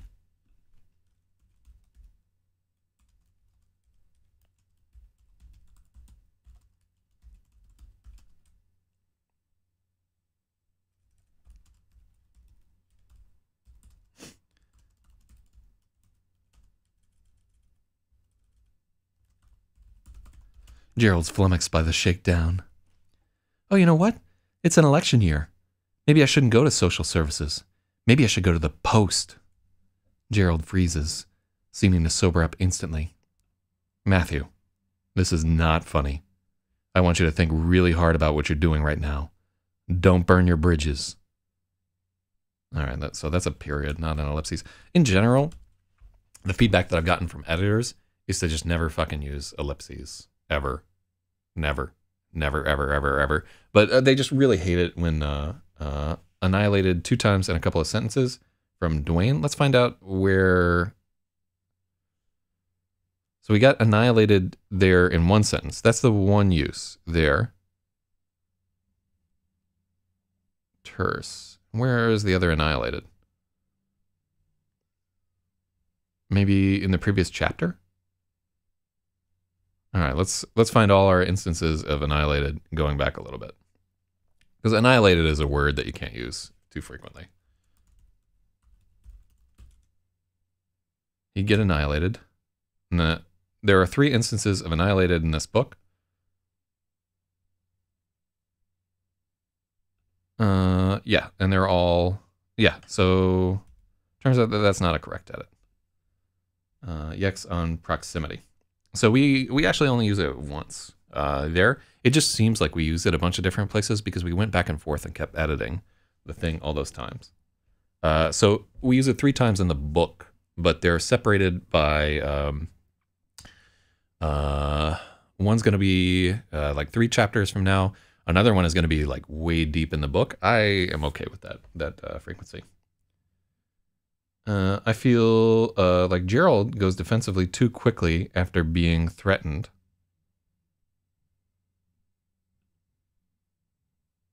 Okay.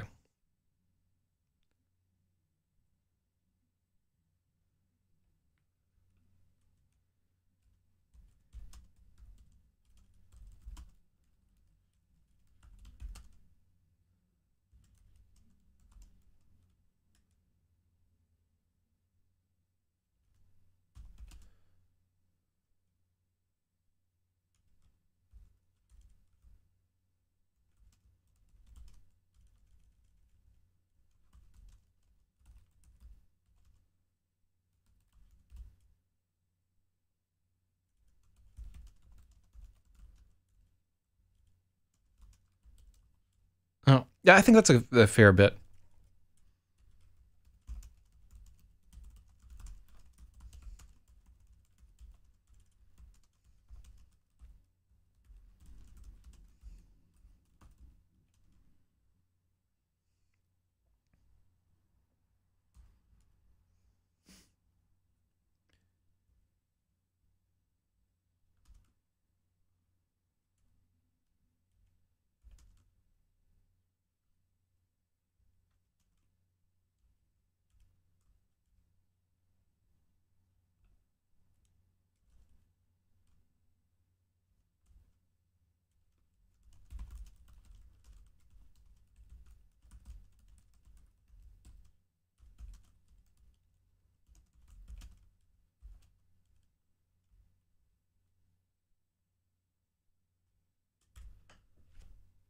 He's yelling in rage.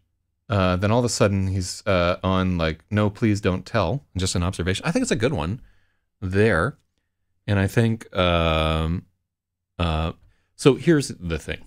Uh, he knows that if matthew goes to social services he's fucked right? Because he's a child abuser. You know he's beating his kid. Um, uh, he's a drunk and uh, like life is not going to go good for him if Matthew actually does go to the post. So it is the moment where the kid is just like, I'm going to do this thing. And it's like, ooh, ooh, that could be bad for me right there. Um, but I like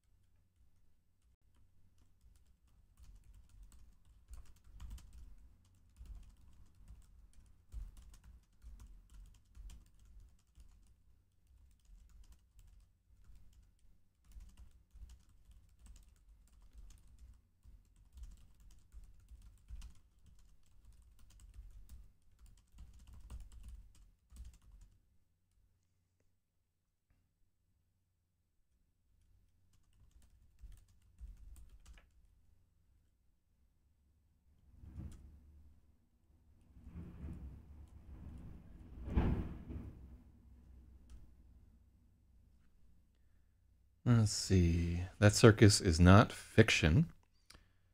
Uh, I don't know what you mean, Dwayne. Oh, you know what? It's an election year, isn't it? Maybe I shouldn't go to social services. Maybe I should go to the post.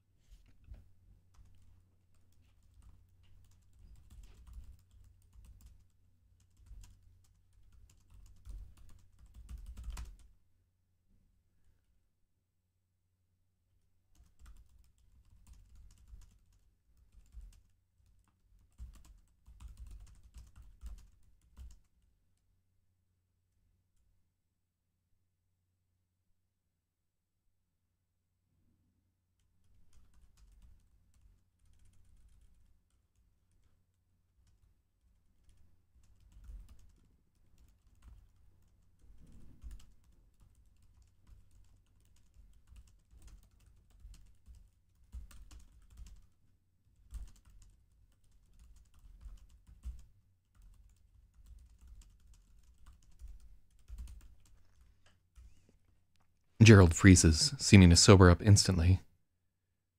He probably knows Matthew's bluffing.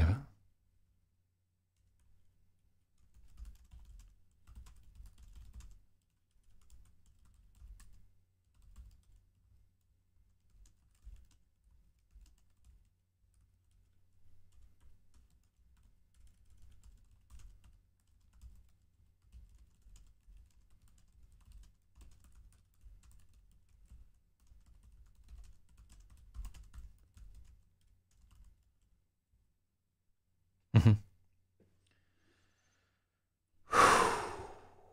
Uh, just has zero to do with reality. I know reality. Go down to hellhole and find out. What are you talking about, Dwayne? Yeah, is it like some section of the book in particular? Uh, yeah, I don't know. I don't know uh, if you're talking about part of the book or something that's going on in IRC.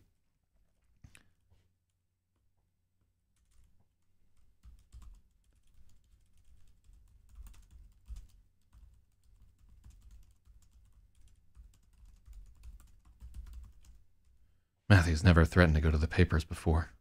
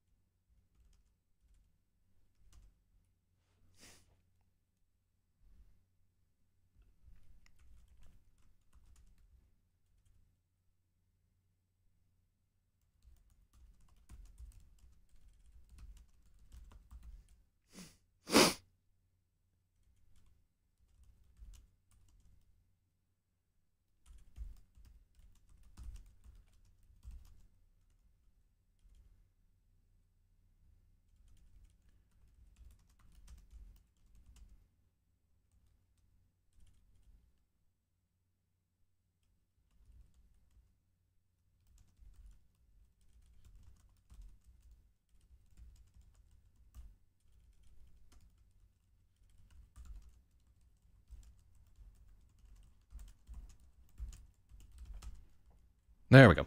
So I think uh, I think really good edit from uh, Mantis Code right there.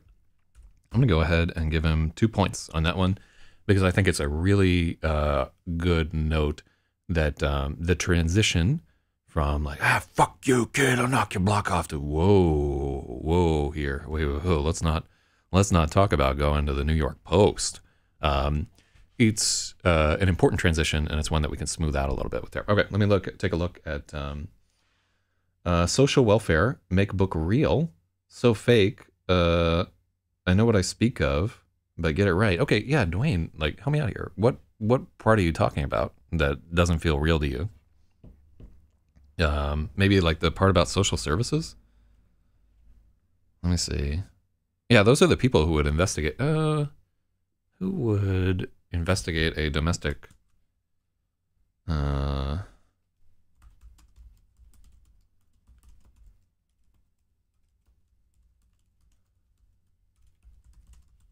who investigates domestic violence? NYPD domestic violence task force uh,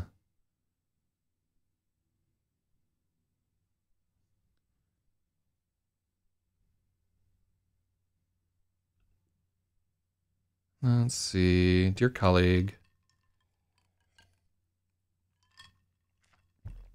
Okay, so that's what Dwayne's saying. It wouldn't be social services.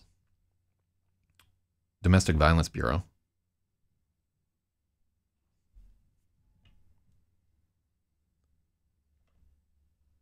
Elder Abuse Unit. The Brooklyn DA. Okay.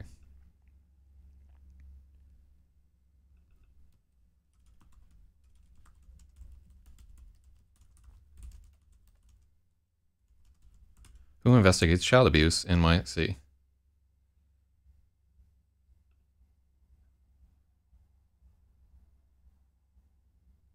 Uh, child welfare. ACS Office of Special Investigation. What is ACS? Uh, Agency for Child Services?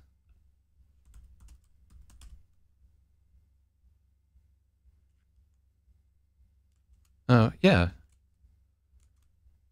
So actually, this is a good edit for Dwayne right here. It took me a second to like figure out what he was talking about. Um, but uh, wait, nice deflection. I totally blew it, but get it right. I know what I speak of. Whew, Dwayne, it's hard to take edits from you. Uh, you're not very specific. Um, so let's go to what's the name of this agency right here? Administration for Children's Services.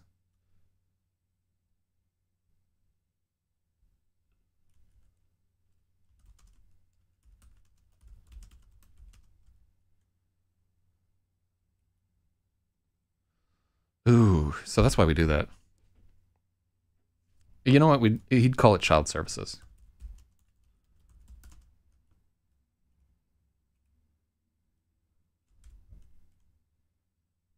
Child services. Okay. Um, and then Dwayne says, "You are never mine." Dwayne, I, I like honestly, I don't know what you're talking about right there. You need to be so with editing. Keep in mind that um, you know there there are a lot of words on the screen and so forth.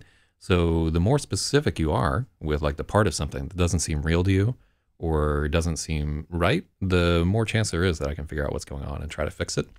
Um, if you're not specific, then I, I don't know. You could be talking about anything. So Dwayne says that we completely dropped the ball and that he gives up. Um, okay. Well, I tried, Dwayne. That's all I can do. Um, but I do think that child services is the right thing. So I'm still going to give Dwayne a point right there because that's an important note. It wouldn't be social services, it would be the Administration for Child Services. Okay, so. Oh, you know what? It's an election year, isn't it? Maybe I shouldn't go to child services. Maybe I should go to the post. Bam. Uh, yeah, I, I think there are like there are a bunch of things in this scene where you could be like, ah, that doesn't feel real to me, right? Because it's like a terse scene where it's a confrontation, and it's not it's not something that you would normally see. Like it's not every day that most people threaten to uh, go to the the papers over their their creepy dad. But um, social services is fine, according to Dwayne. I think child services is what he would uh, threaten right there, because uh, another part about Matthew is like one, he's uh, he's listed as kind of precocious, right? Like he picks up a lot of facts and so forth. And his father being in government, he would probably, uh, and the fact that you know this has happened before, obviously, he would know who he would report uh, child abuse to. Um, so it's it's good to have him pick the correct agency right there. All right, um, and keep in mind also, Dwayne, this is not in Canada. This is in New York. Uh, so just some of the names are going to be a little bit different. Are you fucking trying to extort me?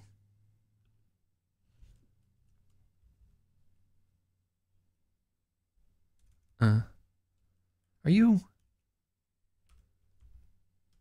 Are you fucking trying to extort me? All right. Are you seriously? Yeah, there, okay, that's better. I'm not giving you a cent. In fact, your allowance is canceled, starting right now.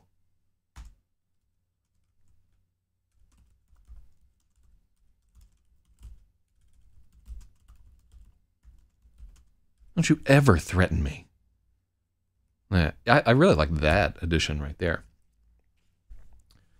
Uh, and this is, I know this shit, and this is pretentious. Huh. Oh, well, you know, feel free to suggest a change. Uh, but generally, um, yeah, like what do you think should change? Matthew knows he's gone too far. He knows he ought to stop and retreat to his room.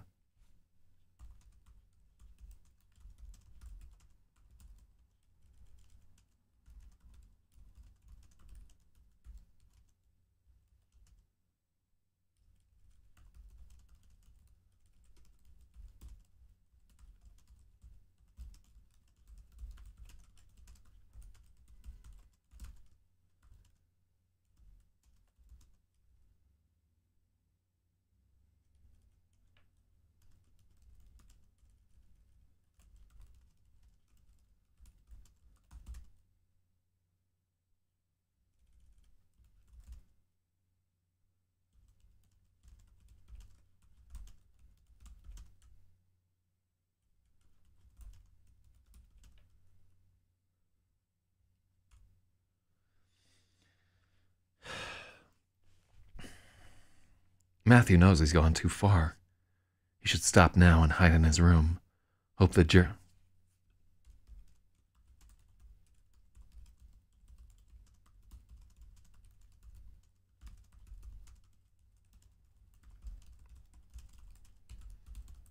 I hope Gerald doesn't remember this tomorrow. But something in Gerald's voice tugs at him. He's afraid.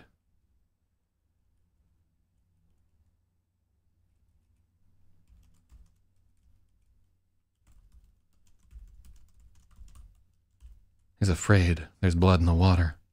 Oh, you know what? It's an election year, isn't it? Maybe I shouldn't go to child services. Maybe I should go to the post. Gerald freezes, seeming to sober up instantly.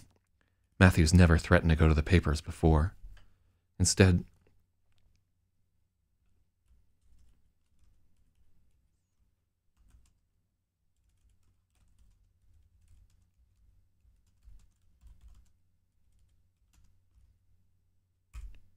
Matthew, this is not funny. I want you to think really hard about what you're doing right now. Don't burn your bridges. Gerald, I want you to reach good and deep into your wallet and give me a hundred bucks. Pull it out nice and easy. Don't burn your fingers.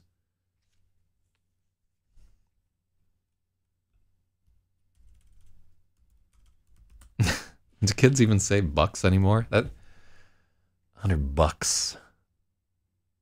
Yeah, who fucking says bucks any longer? I do, but I'm I'm ancient. Yeah. I, don't know. Kids are probably talking about that drip and hundos and shit like that.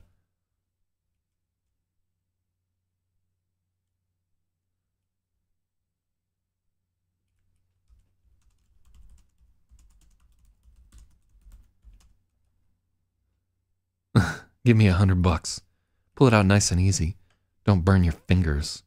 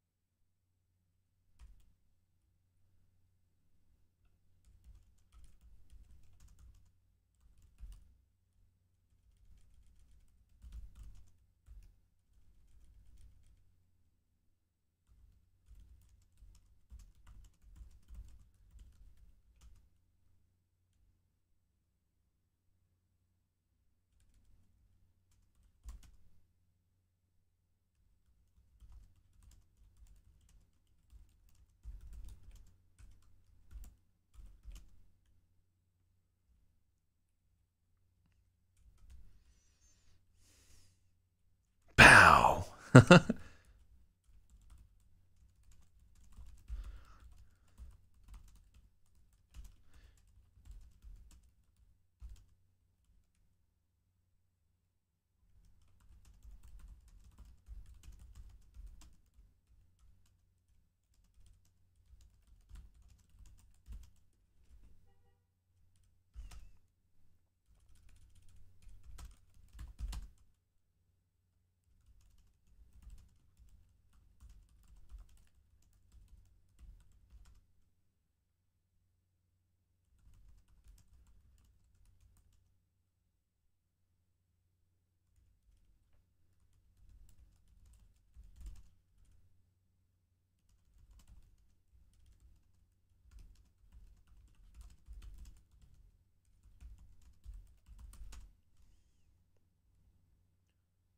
Gerald's emptying out his wallet.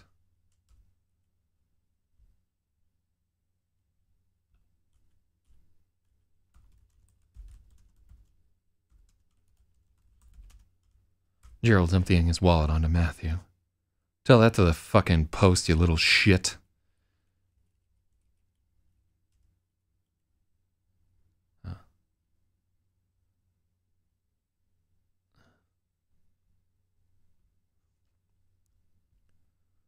Uh, here. Tell that to the post, you little yeah. Tell that to the post, you little shit. Matthew's head is still spinning.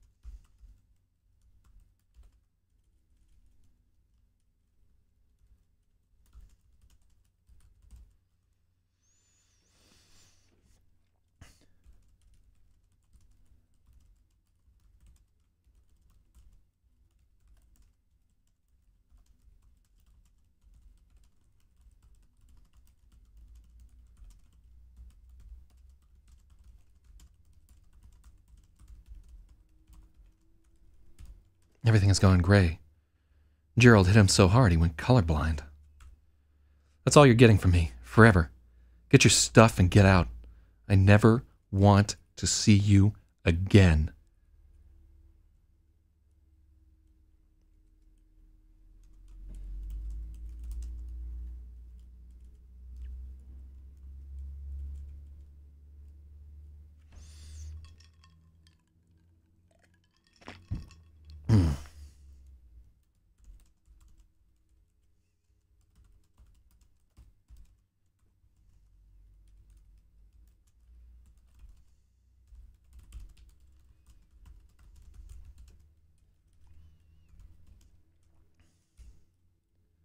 Is that a note of finality in his voice?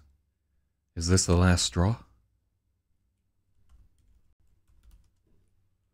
Matthew has no retort. He picks up the money and his glasses and heads to his room to pack a bag. After a few minutes, he can see colors again, though everything seems a little washed out. He takes a long time packing.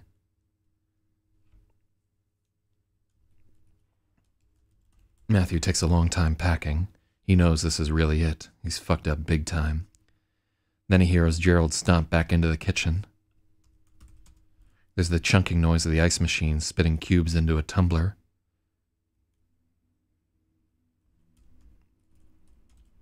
The sound of the old man fumbling with the lock on the liquor cabinet. Oh shit. Those sounds make Matthew feel very, very small. He knocked the old man off the wagon.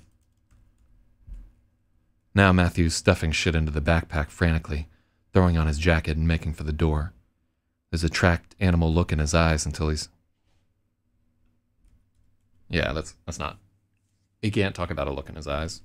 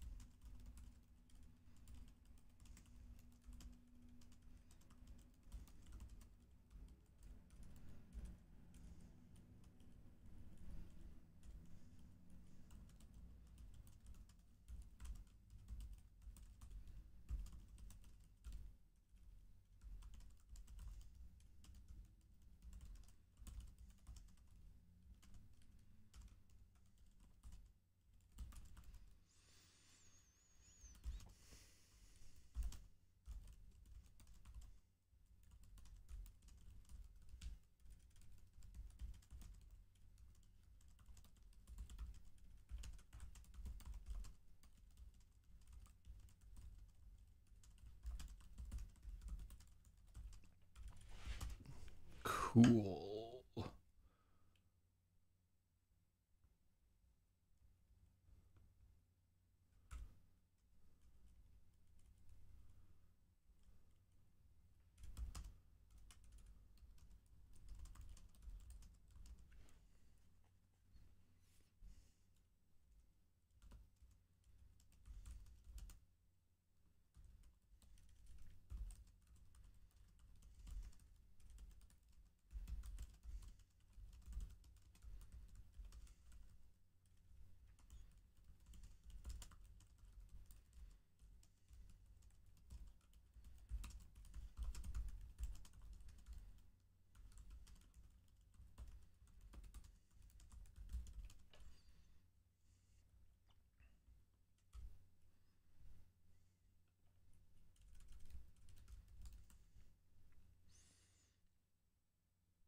Uh, stuffing shit into uh, the backpack frantically.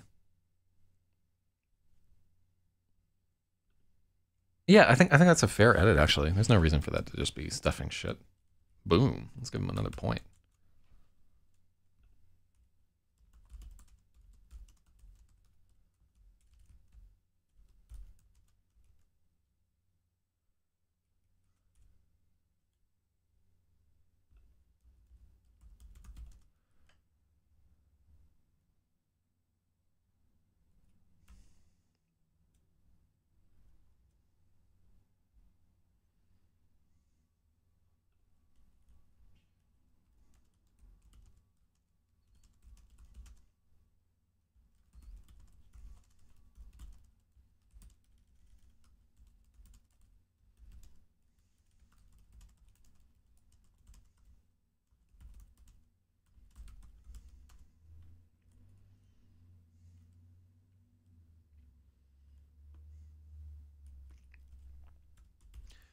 Matthew's taking a lot of time packing up, hoping Gerald will change his mind, but he knows he won't.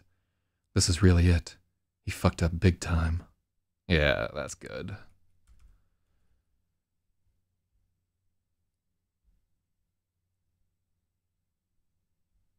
he knocked the old man off the wagon. Now Matthew's frantic, stuffing things into his backpack, throwing on his jacket, and making for the door.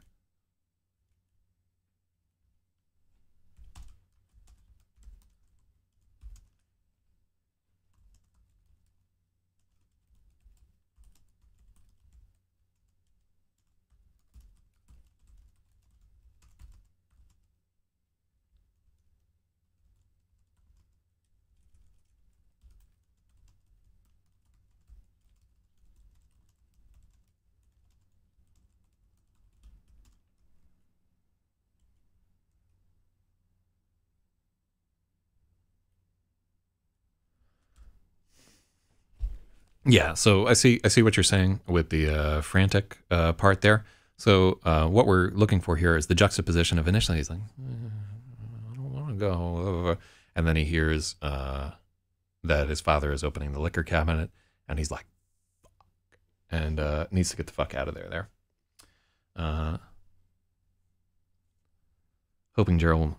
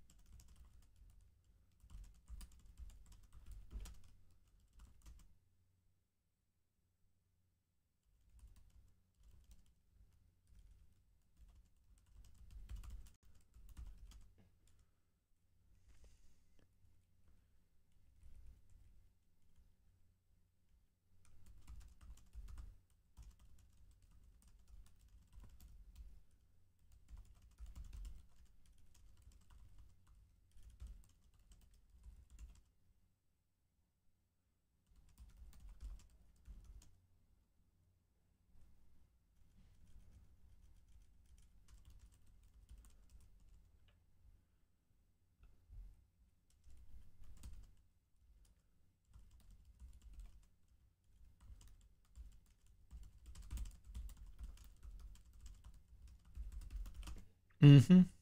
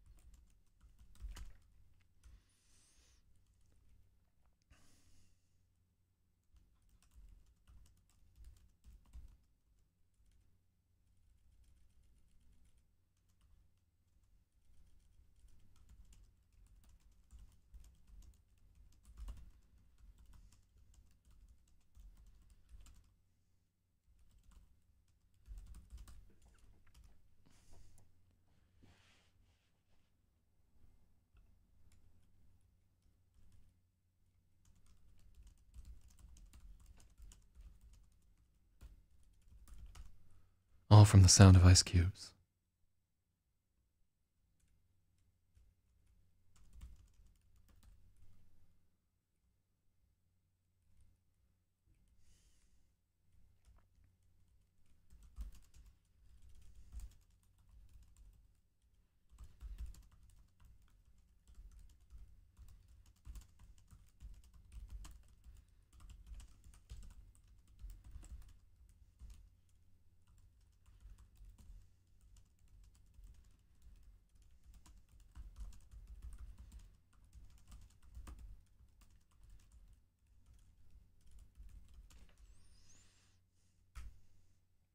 Okay. So we did a lot of work onto that section right there. And I think a lot of it is um, um, stemming uh, from Mantis Code's uh, notion that we needed to uh, justify our transition from what to what.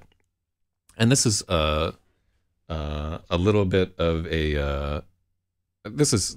I may be like overselling this point here, where he's like, uh, but I have I have friends who uh, have gone through significant domestic abuse and so forth, and uh, I've seen them just get like fucking triggered by weird shit, and not in the like oh my god, I can't believe you misgendered me uh, type trigger, but in the like you can see them having a, a like straight up panic attack over something relatively small, and um, uh, yeah, so we're we're a little bit uh, reaching towards that kind of thing. There is that a note of finality in his voice.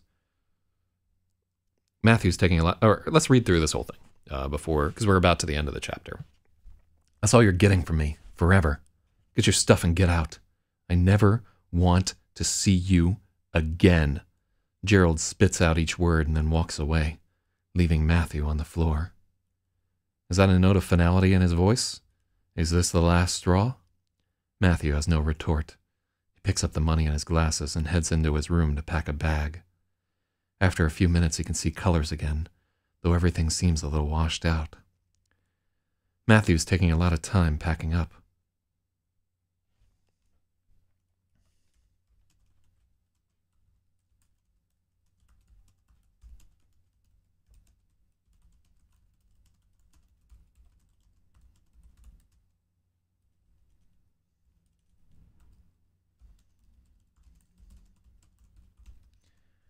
He has a thin hope Gerald might change his mind, but he's pretty sure he won't. Uh, I don't like that.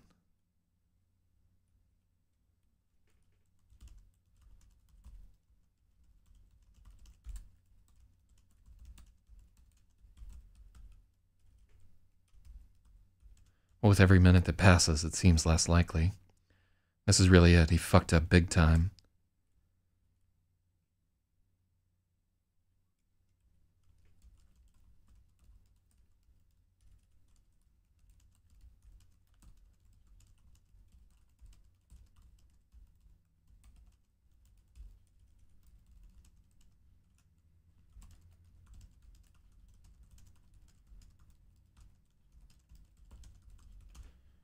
Wondering if he's about to shout.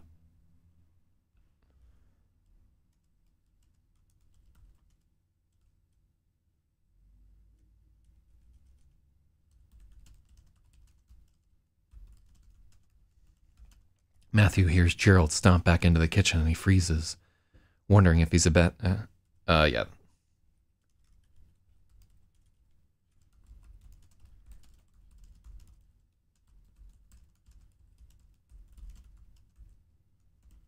Think he's about to get yelled at for taking too long.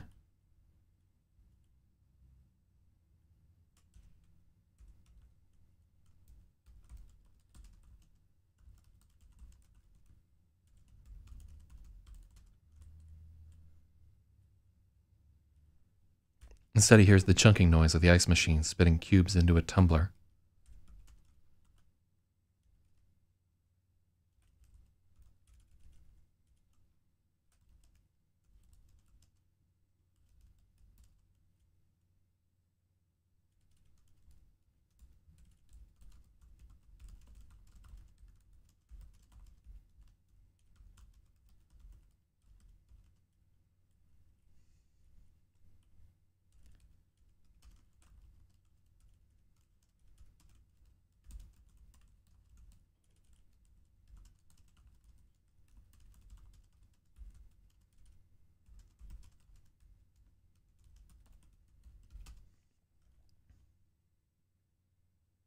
Oh, shit.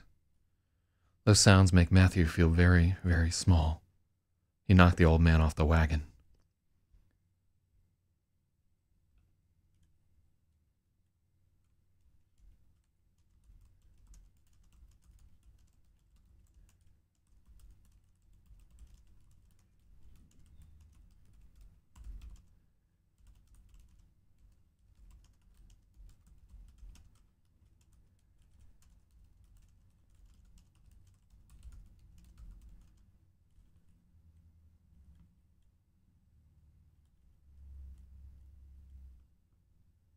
I really like this juxtaposition where he's like kind of like an asshole kid, like, ah, I'll tell the fucking post about you, blah, blah, blah.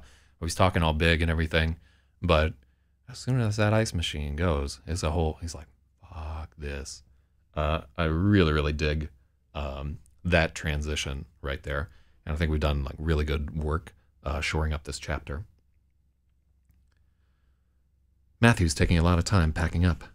He has a thin hope Gerald might change his mind, but with every minute that passes, it seems less likely. This is really it. He fucked up big time. Matthew hears Gerald stomp back into the kitchen and he freezes, thinking he's about to get yelled at for taking too long. Instead, he hears the chunking noise of the ice machine spitting cubes into a tumbler. Then Gerald curses softly as he fumbles with the lock on the liquor cabinet.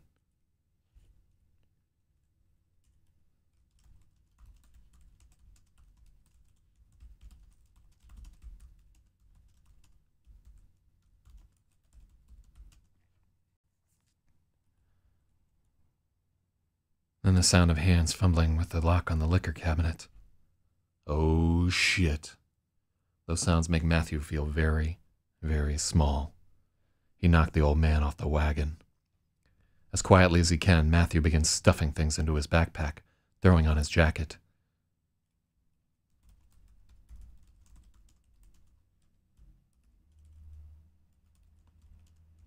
He creeps up to his bedroom door and listens until he hears Gerald's footsteps stalking out of the kitchen. Then he counts to 20.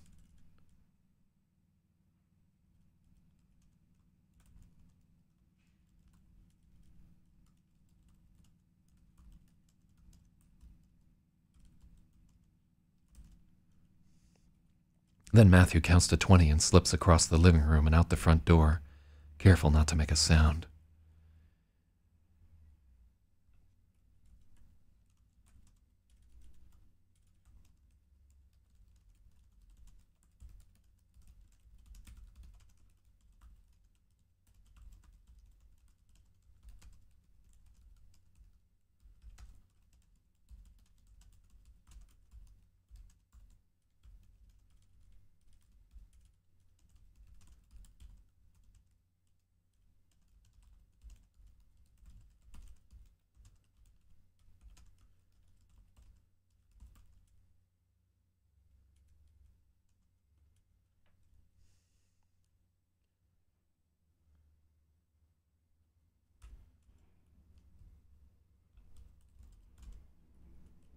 Okay.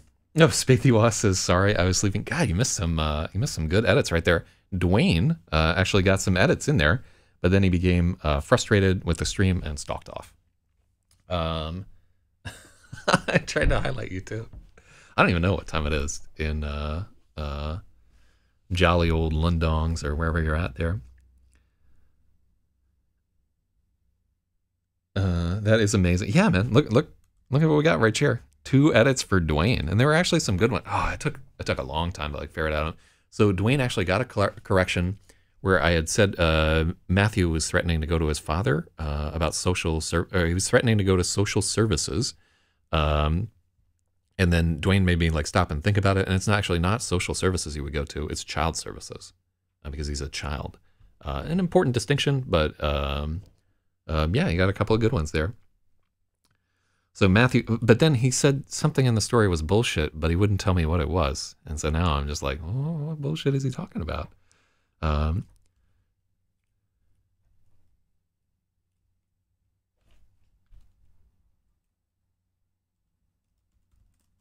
Matthew panics and takes the stairs, 28 flights down.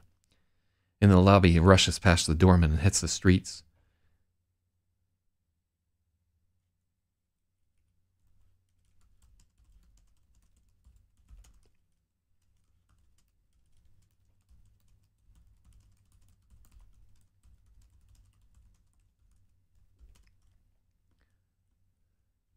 All from the sound of ice cubes in a glass.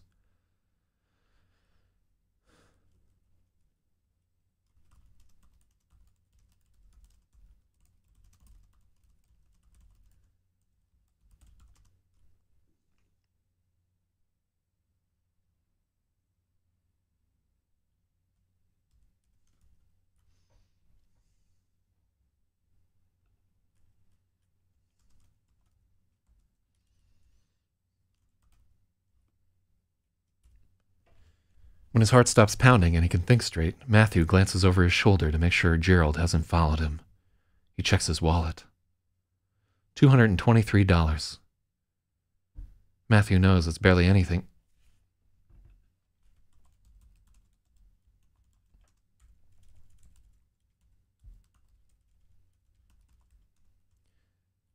Going to his mother's was a bluff. He isn't welcome there either. Crazy Jew Hausterlitz has become a creature in the street in a space of a few minutes. Grabbing his other pocket, he realizes he left his phone upstairs, plugged into the charger. Fuck it, Matthew says, loud and angry enough that it turns the head of a woman pushing her laundry cart past. Uh, that's that's an awkward sentence right there.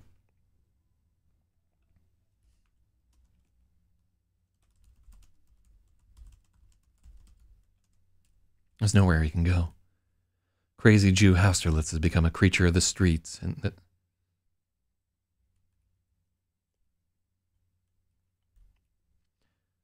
A creature of the streets in the space of a few minutes. Grabbing his other pocket, Matthew realizes he left his phone upstairs, plugged into the charger. Fuck it, Matthew says.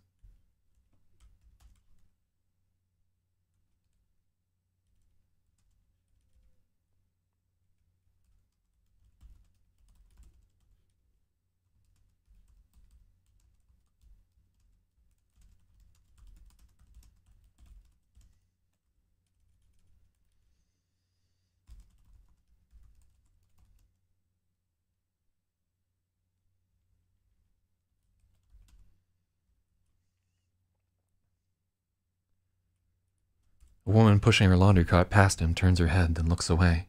She doesn't even shrug. He's pretty sure he isn't crying. Cool.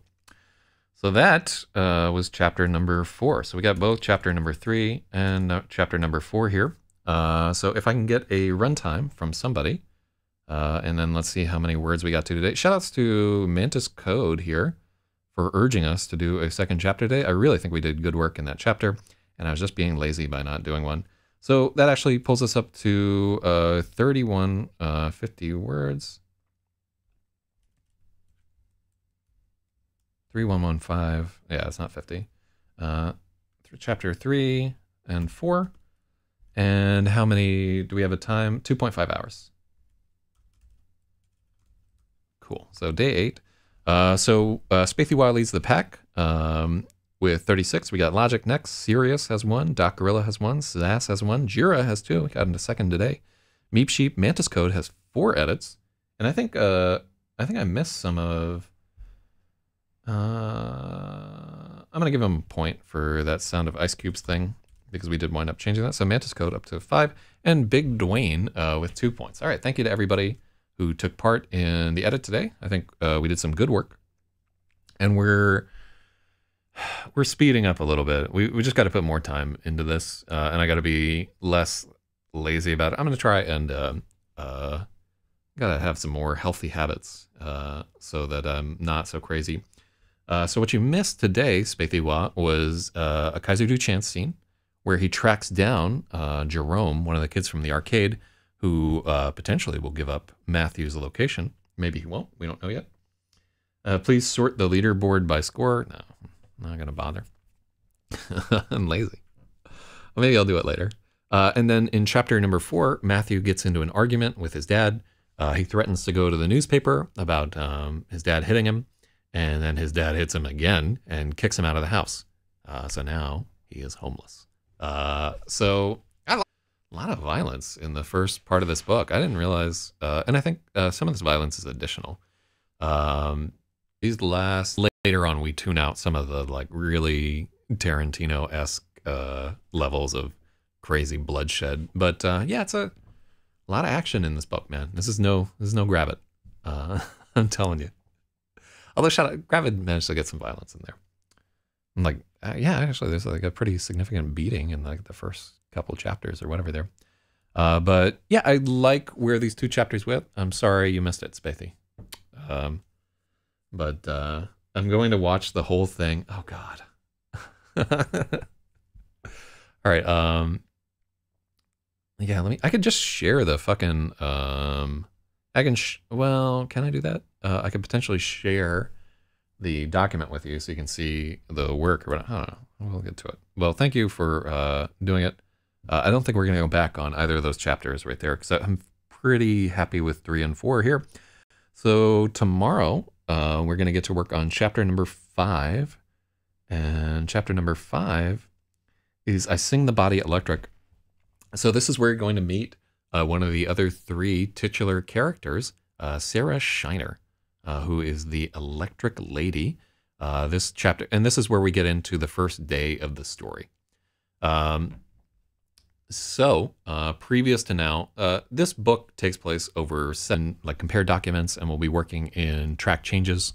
Uh, so I'm excited to fool around with that whole thing, and I think we'll do that edit mostly in Microsoft Word, uh, which I need to install on this machine. Ugh, fucking Word. But uh, yeah, I'm, I'm, happy with this whole deal. And I'm excited to, really excited to work on the edit of space charts. And I had a good time. Thank you to everybody who uh, joined in on the editing and everything on this. And uh,